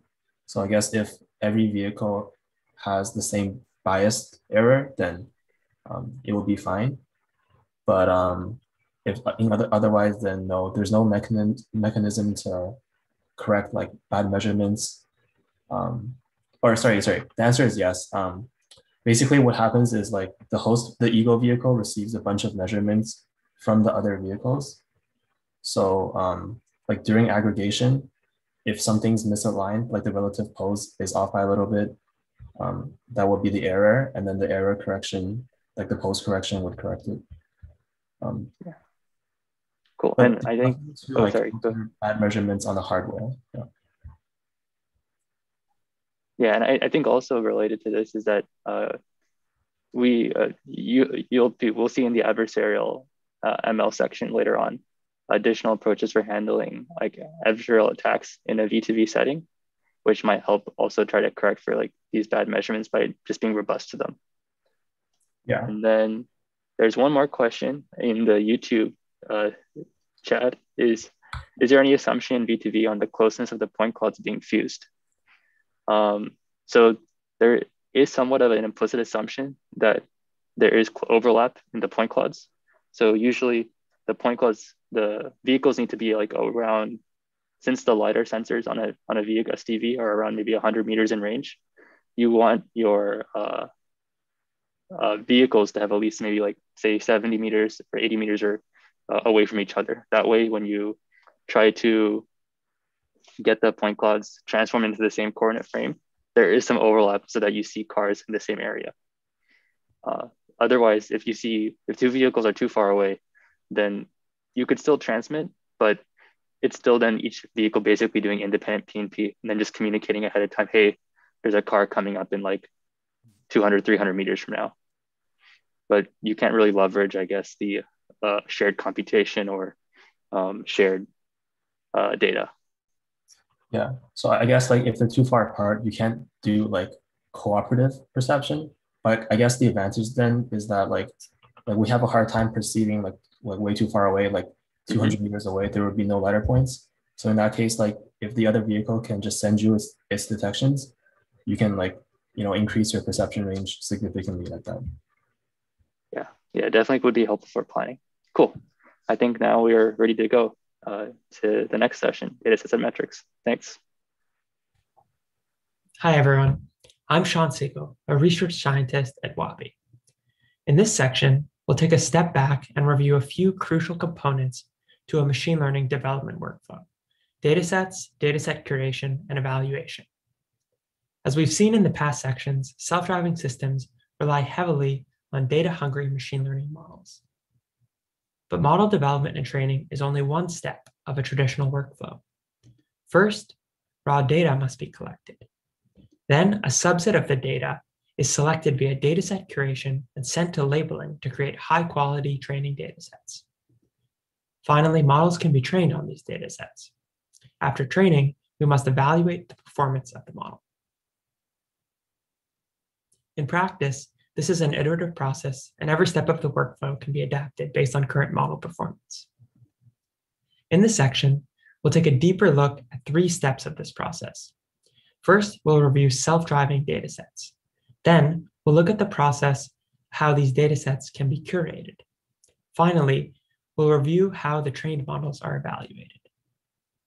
Let's begin by discussing self-driving datasets.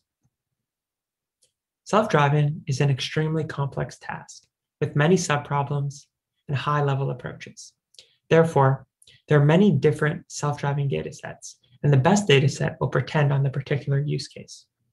For every dataset, there are a few properties we must consider. First, there are the sensors used to collect the dataset. These vary significantly and have a large impact on model performance and the difficulty of the task. Second, high definition maps can provide useful supervision or priors for many tasks. Some datasets contain no maps, while others contain detailed map information. Traffic light information and temporary construction elements are also useful. Third, supervised machine learning models are as good as the data on which they are trained. Therefore, the types of annotations, quantity, and quality of the dataset will also be of huge importance. Finally, as we will discuss in more detail later, dataset curation techniques can be applied to ensure that the examples in the dataset are more interesting and or cover the set of real-world scenarios. This coverage is crucial to ensure that models generalize to the real-world distribution. Here's a rough timeline of various self-driving datasets. As you can see, there's been growing interest in self-driving research and datasets in recent years. Let's start by taking a look at some perception datasets. Sensors are critical to these datasets since they are the raw inputs to the model. In this setting, maps can provide useful priors as input or can be used to supervise online mapping tasks. Annotations vary from dataset to dataset, specifically in terms of the granularity we want to label. Bounding boxes can be used for detection, whereas point information is captured by semantic and instance segmentation. Finally, perception datasets can vary in difficulty based on how they are curated. Some contain challenging weather conditions or nighttime scenes. The geographic diversity can also affect the difficulty of the task. KITTI was the first public dataset intended for the application of vision in robotics and specifically autonomous driving. The data was captured by driving around in rural areas and highways. It consists of one and a half hours of data from multiple cameras, a Velodyne 3D LiDAR, and accurate localization data estimated from RTK GPS and IMU. Such a collection of sensor data enabled the research on many canonical tasks in vision and robotics, including stereo matching, optical flow, 3D visual odometry, SLAM, and 3D object detection. While it has been key to progress in self-driving research, for certain tasks there exist modern, larger datasets. The Cityscapes dataset was specifically targeted for the task of semantic understanding of images in the context of self-driving. The data was collected in 50 cities covering spring, summer, and fall, although not in adverse weather. High quality pixel labels are provided for 5,000 images and coarse annotations for 20,000 more images. These annotations are highly useful for semantic and instance segmentation, but unfortunately the dataset is less applicable for other self-driving tasks. The Deep Drive dataset consists of 100,000 videos of driving that are crowdsourced. It covers four different cities, has balanced day and night data, and extreme weather conditions such as snow and rain. One benefit of this dataset is that it contains annotations for a variety of tasks, including bounding boxes, lane markings, drivable areas, and semantic segmentation. The data includes camera images, IMU, and GPS, but unfortunately lacks 3D sensors. Audi released an autonomous driving dataset, A2D2, which includes synchronized images and 3D point clouds, as well as other vehicle data. With multiple cameras and LiDARs on board vehicle, they provide a full 360 degree coverage surrounding the SDV. Unfortunately, bounding boxes are only labeled for non-sequential frames, preventing the dataset from being used for tracking or motion forecasting. Now we will move on to a set of datasets that are more applicable for the motion forecasting task. For this task, sensor are only required for joint perception and prediction models. The presence of maps are extremely important as they provide strong priors, especially for long horizon and goal-based prediction. For annotations, we must consider three factors. First, the sequence length of each snippet determines the maximal prediction horizon. Second, the quality of the labels is crucial for learning. Some datasets forego high quality human labels for automatic labels from a perception system, while these labels may be noisier, they tend to provide large-scale annotations required to capture the long tail of driving behavior. Finally, curation is an important aspect of motion forecasting datasets. Ideally, datasets are constructed so that they contain interesting and interactive behaviors to predict. ATG4D was one of the first large-scale datasets for prediction with over 40 hours of human annotated bounding boxes. The dataset is curated manually to contain safety critical situations. The dataset also includes rich HD maps with semantic information, including lane connectivity information, intersections, crosswalks, and traffic lights. In each LiDAR and image frame, all the visible vehicles, pedestrians, and cyclists are labeled using high quality 3D and 2D bounding boxes. Also, each object has a unique identifier that allows tracking objects throughout the entire sequence. While the dataset is very large, it is smaller than modern auto-labeled motion forecasting datasets. The nuScenes dataset is collected by a sensor suite that covers 360 degrees around the vehicle. The 1,000 scenes in the dataset are manually selected to include high traffic density, rare classes, dangerous situations, and diverse maneuvers. This dataset is the first SDV dataset that includes radar data in addition to cameras, LiDAR, and maps. Similar to ATG4D, this dataset provides 3D bounding boxes for visible objects in the scene, which makes it useful for 3D detection and prediction tasks. Unfortunately, the dataset is relatively small for motion forecasting. Waymo has released multiple datasets. Its first dataset, the Waymo Open Dataset, consists of driving sequences which include six and a half hours of LiDAR, camera, and pose information. The sensor configuration additionally includes multiple LiDARs. While this dataset contains annotation for both perception and motion forecasting, it has limited applicability for the latter task due to its size and lack of HD maps. The recently released PandaSet contains high quality sensor data for multiple LiDAR sensors and five cameras. This data is annotated with 3D bounding boxes and detailed semantic segmentation labels for a subset of the dataset. Unfortunately, the dataset contains does not contain HD maps, and the short eight second snippets limit the prediction horizon that can be used for motion forecasting. Argoverse recently released two datasets, one for detection and tracking, and another for motion forecasting. The motion forecasting dataset is mined for interesting trajectories, including those at intersections, turning, and lane changing. The dataset also includes HD map information and is relatively large scale. Unfortunately, the labels for the motion forecasting dataset come from perception output and can therefore be noisy, making it difficult to train models. Lyft recently released a very similar dataset designed solely for motion forecasting. The dataset is the largest public prediction dataset with over 100,000 hours of data. Sorry, a 1,000 hours of data. The data is also paired with HD maps useful for prediction. Unfortunately, the data was collected in a limited geographic region covering only 15 kilometers of unique roads. The labels are also from a perception system and can therefore be noisy. Finally, Waymo also released a similar dataset designed for interactive motion forecasting. While the dataset is smaller in terms of length, the labels are generated by an offboard perception system, which leverages information across time to produce better auto labels. Each of the 100,000 scenarios in the dataset is also mined specifically to contain an interaction between two actors in the scene. The dataset is also more geographically diverse. Lastly, we will provide brief overview of localization datasets. Localization datasets require sensor data, calibration information, and high-quality ground truth poses. Maps are typically used to compute the ground truth poses, but may not be present in the dataset itself. Unlike perception and prediction datasets, manual annotations are not required, so these datasets can scale more easily. Finally, curation focuses on selecting longer sequences than motion forecasting datasets. The KITTI odometry dataset part of the KITTI Vision benchmark suite, is perhaps one of the most widely used datasets for autonomous vehicle localization. The dataset covers a diverse range of environments, including urban, residential, and highway scenarios over 22 seconds. However, it does not cover different seasons, bad weather, or low light conditions. The dataset contains multiple sensors, including 64 beam LiDAR and stereo cameras, and has been widely used in robotics research.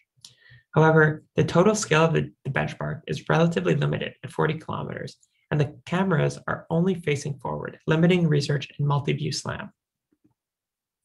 The Oxford RobotCar dataset is another highly popular dataset for autonomous vehicle localization and mapping.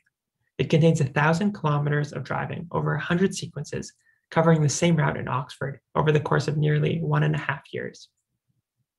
While the geographic extent of the dataset is more limited than KITTI, it exhibits much more variation in terms of environmental changes, including rain, fog, snow, con and construction, as well as having nighttime driving. This makes this benchmark particularly useful for evaluating long-term localization and mapping. The sensor platform uses a triple LiDAR setup, and there are cameras facing both forwards and backwards.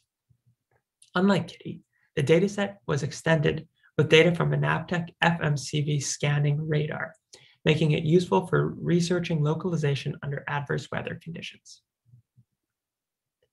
We've re recently reduced PIT30M, a dataset for large-scale localization tailored for self-driving applications. We were motivated by the lack of a public localization benchmark that is large-scale, diverse, and provides accurate ground truth localization. We collected PIT30M with over 1,300 trips and over 14 months and include over 30 million images and LiDAR readings. We also carry a consumer grade GPS that we use to study localization bootstrapping. To learn more about PIT30M, check out the localization part of this tutorial.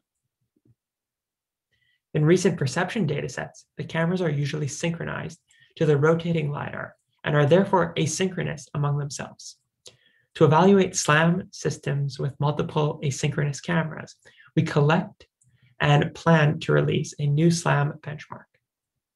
We use a robot platform with seven asynchronous cameras and collect 21 hours of driving, covering 482 kilometers in the Pittsburgh area. Compared to existing public SLAM benchmarks, our dataset AMV bench is large scale, covers diverse weather conditions and geographic regions, and is recorded with multiple asynchronous cameras.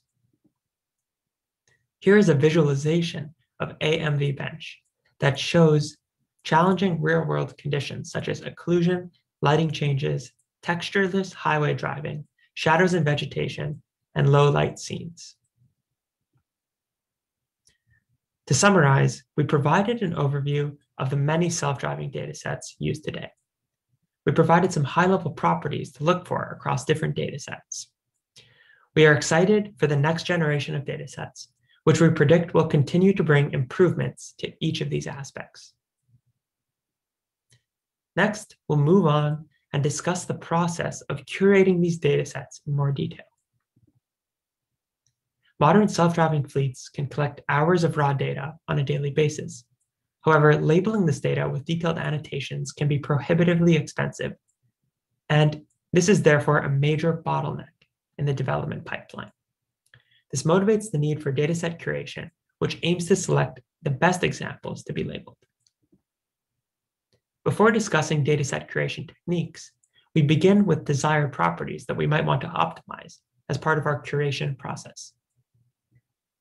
First, we might want the dataset to be interesting and contain challenging examples to train the model. Of course, the definition of interesting will change depending on the task, and we will see some examples next. Optimizing for coverage, on the other hand, ensures that the selected subset is representative of the real-world distribution, increasing the chance that the models generalize. Finally, given a particular model, we can consider optimizing the dataset itself to further improve model performance. Let's start with approaches that seek to curate an interesting dataset. A common technique to curate interesting datasets is to define log metadata, or tags, which can be used to retrieve interesting examples for a given task. Importantly, the tagging process must be fully automated and should not rely on human labeling, since our goal is to tag all the collected data and use the information to select the interesting examples for labeling. At a high level, there are two approaches to tagging self-driving logs, rules-based tagging and learning to tag. Let's begin by discussing the rules-based pipeline. Rules-based tagging leverages an off-board perception system on raw sensor data, or the cached outputs from the onboard perception, perception system, and together with the SDV pose and HD map, reasons about various attributes of the scene. In this pipeline, an engineer must write custom logic to define each tag as a function of the detections, pose, and map given as input. This pipeline is used in a recent work, Diverse Complexity Measures for Dataset Creation in Self-Driving, which defines a comprehensive set of tags or complexity measures, which we review next. The complexity measures introduced cover a wide range of scene attributes. First, they seek to characterize the complexity of the map, taking into account the complexity of the motion paths, lane crossings, crosswalks, intersections, traffic controls, and map height. Please refer to the paper for mathematical definitions of each measure. In this example, we can see that abnormal intersections are tagged as more complex than traditional intersections. The complexity of the actors in the scene can be estimated based on the object detections over a period of time. Actor complexity can be measured by estimating whether actors were static or dynamic, based on the class diversity within the scenario, the spatial diversity, and each actor's velocity and path complexity. Here we see a scene tagged with high actor complexity as one with many pedestrians shown as pink circles. Finally, measures were also proposed to characterize the complexity of the self-driving vehicle's behavior. These measures take into account the complexity of its driving path, velocity diversity, its high-level route, and interactions with both traffic controls and other actors. Rules-based tagging relies on noisy outputs from a perception system and requires extensive engineering effort to define logic for each tag of interest. Instead of relying on this pipeline, Recent work proposes to directly learn to tag attributes of a self-driving scene from supervision. Once the module is trained, it can be run on newly collected logs and produce a diverse set of scene tags automatically without requiring any human effort. At a high level, the proposed module takes both a rasterized HD map and sensor data over a period of time as input and passes it through a CNN to produce a spatiotemporal embedding. The network jointly learns a tag attribute embedding for each of the supported tag types. For example, given a tag attribute like left turn, we can look up its corresponding row in the learnable matrix A to obtain its embedding. Then, the two embedding representations are combined through an element-wise dot product, preserving the spatiotemporal dimensions and returning a tensor of tag values. This approach is trained end-to-end -to, -end to minimize a supervised query loss, using a variety of techniques to ensure learning is balanced across all tag attributes. This architecture is experimentally validated by learning to tag 15 common attributes of the self-driving scene simultaneously, including those relating to actor density, vehicle density, interactions, and the map's topology. Here we see examples of qualitative scene tags produced by the model, given only raw sensor data shown on the left and the HD maps, not the actor bounding boxes shown for visualization purposes only. Finally, once we have produced a set of tags for the collected data, the final step is to use the tags to select a data set. The first option is to leverage compositional SQL-like queries to retrieve relevant scenarios to be labeled. This type of approach is briefly described to create both the Argoverse and recent Waymo motion forecasting datasets. Alternatively, if tag values are continuous and represent complexity scores, examples can be retrieved by solving an optimization problem. For example, maximizing the complexity of the selected subset. Selecting only challenging or interesting examples can lead to a biased dataset, which ignores common but less interesting scenarios. For machine learning systems to generalize, it is also critical that the curated dataset is representative of the real-world distribution. To improve coverage of their selected dataset, the same work, diverse complexity measures for dataset creation and self-driving, adds an additional selection step to select remaining examples to better cover the space of scenarios. First, they quantize the dissimilarity between snippets as a function of their difference in the tag values. In order to account for geodiversity, the authors expand the complexity vectors with the latitude and longitude coordinates of the frames. Then they iteratively look for a snippet that is furthest from the current selected set and add that to the set to be labeled. The experiments in the paper showcase that optimizing dataset curation for both interestingness and coverage leads to improved metrics across a variety of self-driving tasks and self-driving models. We've seen that optimizing for interestingness and coverage can lead to significant improvements across a set of models and self-driving tasks. Now, given a particular model, it's natural to ask whether we can further optimize examples to directly improve its performance. This is actually a well-known machine learning research problem known as active learning. The approach iteratively leverages the current trained model to decide which examples to label next, based on those believed most likely to improve the model's performance. Directly optimizing the expected improvement of a model can be very challenging. Therefore, it is often approximated by, rel by related objectives, such as selecting examples with high model uncertainty. Within the self-driving industry, multiple companies have mentioned that active learning is a core component of their development approach. In Tesla's Autonomy Day presentation, they mention automated triggers which identify examples to be sent to labeling to improve the system. Cruise has also published a blog post on how they leverage the consistency of predictions over time to mine hard examples. Within the research community, active learning has been studied in the context of 2D object detection, showcasing that actively selecting examples based on model disagreement leads to a boost in detection performance of vulnerable road users in nighttime conditions. Active learning for perception and prediction introduces a unique set of challenges and opportunities. First, each scene contains many annotations, and the labeling cost tends to scale linearly with the number of annotations required. As a consequence, we notice that certain regions within the scene can be uninformative and expensive, while others may be more interesting yet incur relatively low cost. Therefore, this motivates the need for a new active selection method, which is both cost aware and supports fine grained selection. Motivated by these challenges, a recent work proposes an active learning framework for perception and prediction, which proposes to train PNP models from partial supervision to enable fine grained active selection. Rather than score entire scenes, the proposed approach scores each region in the scene and selects only the best to be sent to labeling. In the paper's experiments, they show that not only does this active selection lead to improved prediction metrics, but it also translates to significant improvements in downstream motion planning, outperforming random selection and common active learning baselines.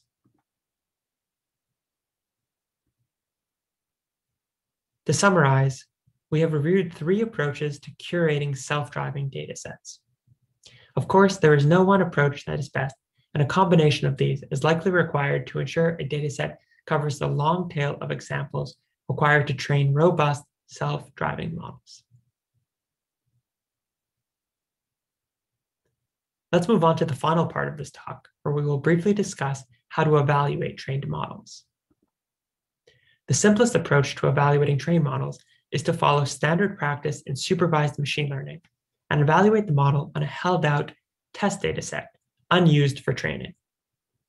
Train and test datasets can additionally be geographically split, where no examples are within the same geographic region to ensure the model does not overfit to a particular region.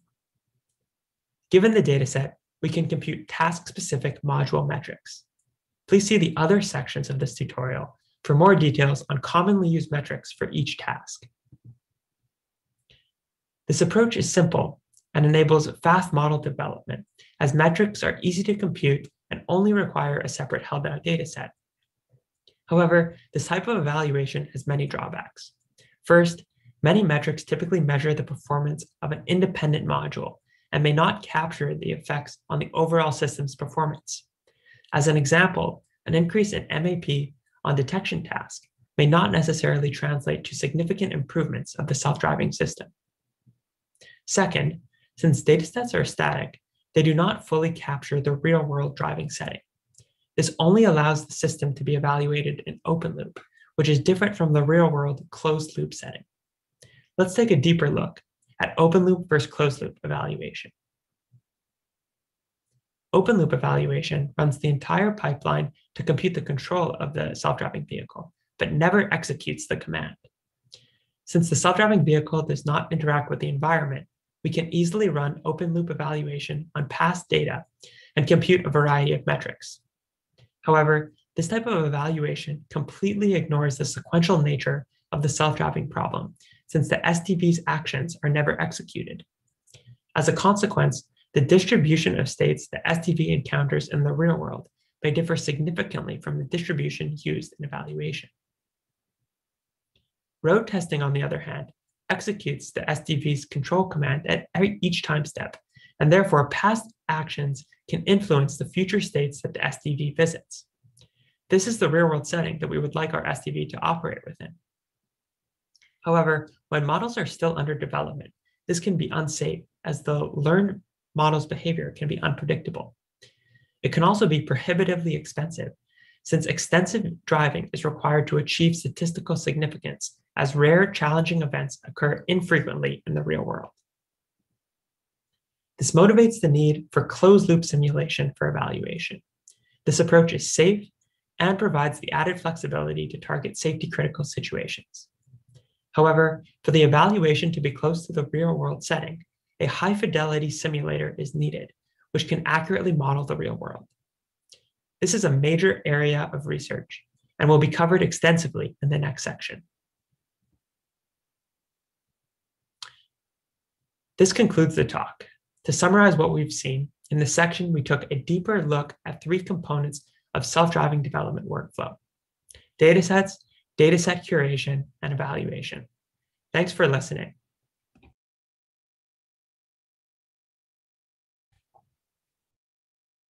Great, cool. So uh, that was uh, data sets and metrics. The next session will be on simulation. If you have any questions, feel free to Sean, who's online.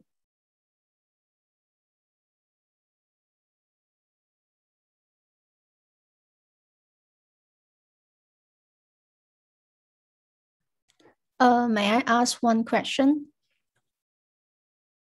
Yeah, of course. Uh, so about tag the data set. Um, so uh, so uh, do just uh, in this project, do we uh, tag the wineland? Uh, so consider a weather just foggy or snowy. So how do we detect the wineland in this situation? Thank you. So the question was how we tag um, weather as well to retrieve interesting scenarios. Uh, uh, actually, the wineland uh just the car just like you need to detect the wineland on the on the road right? And then you have the car that driving in between each wineland something. So do you need yeah, to detect the, the lane detection doing yeah. lane detection in bad weather? Yes yes. Okay.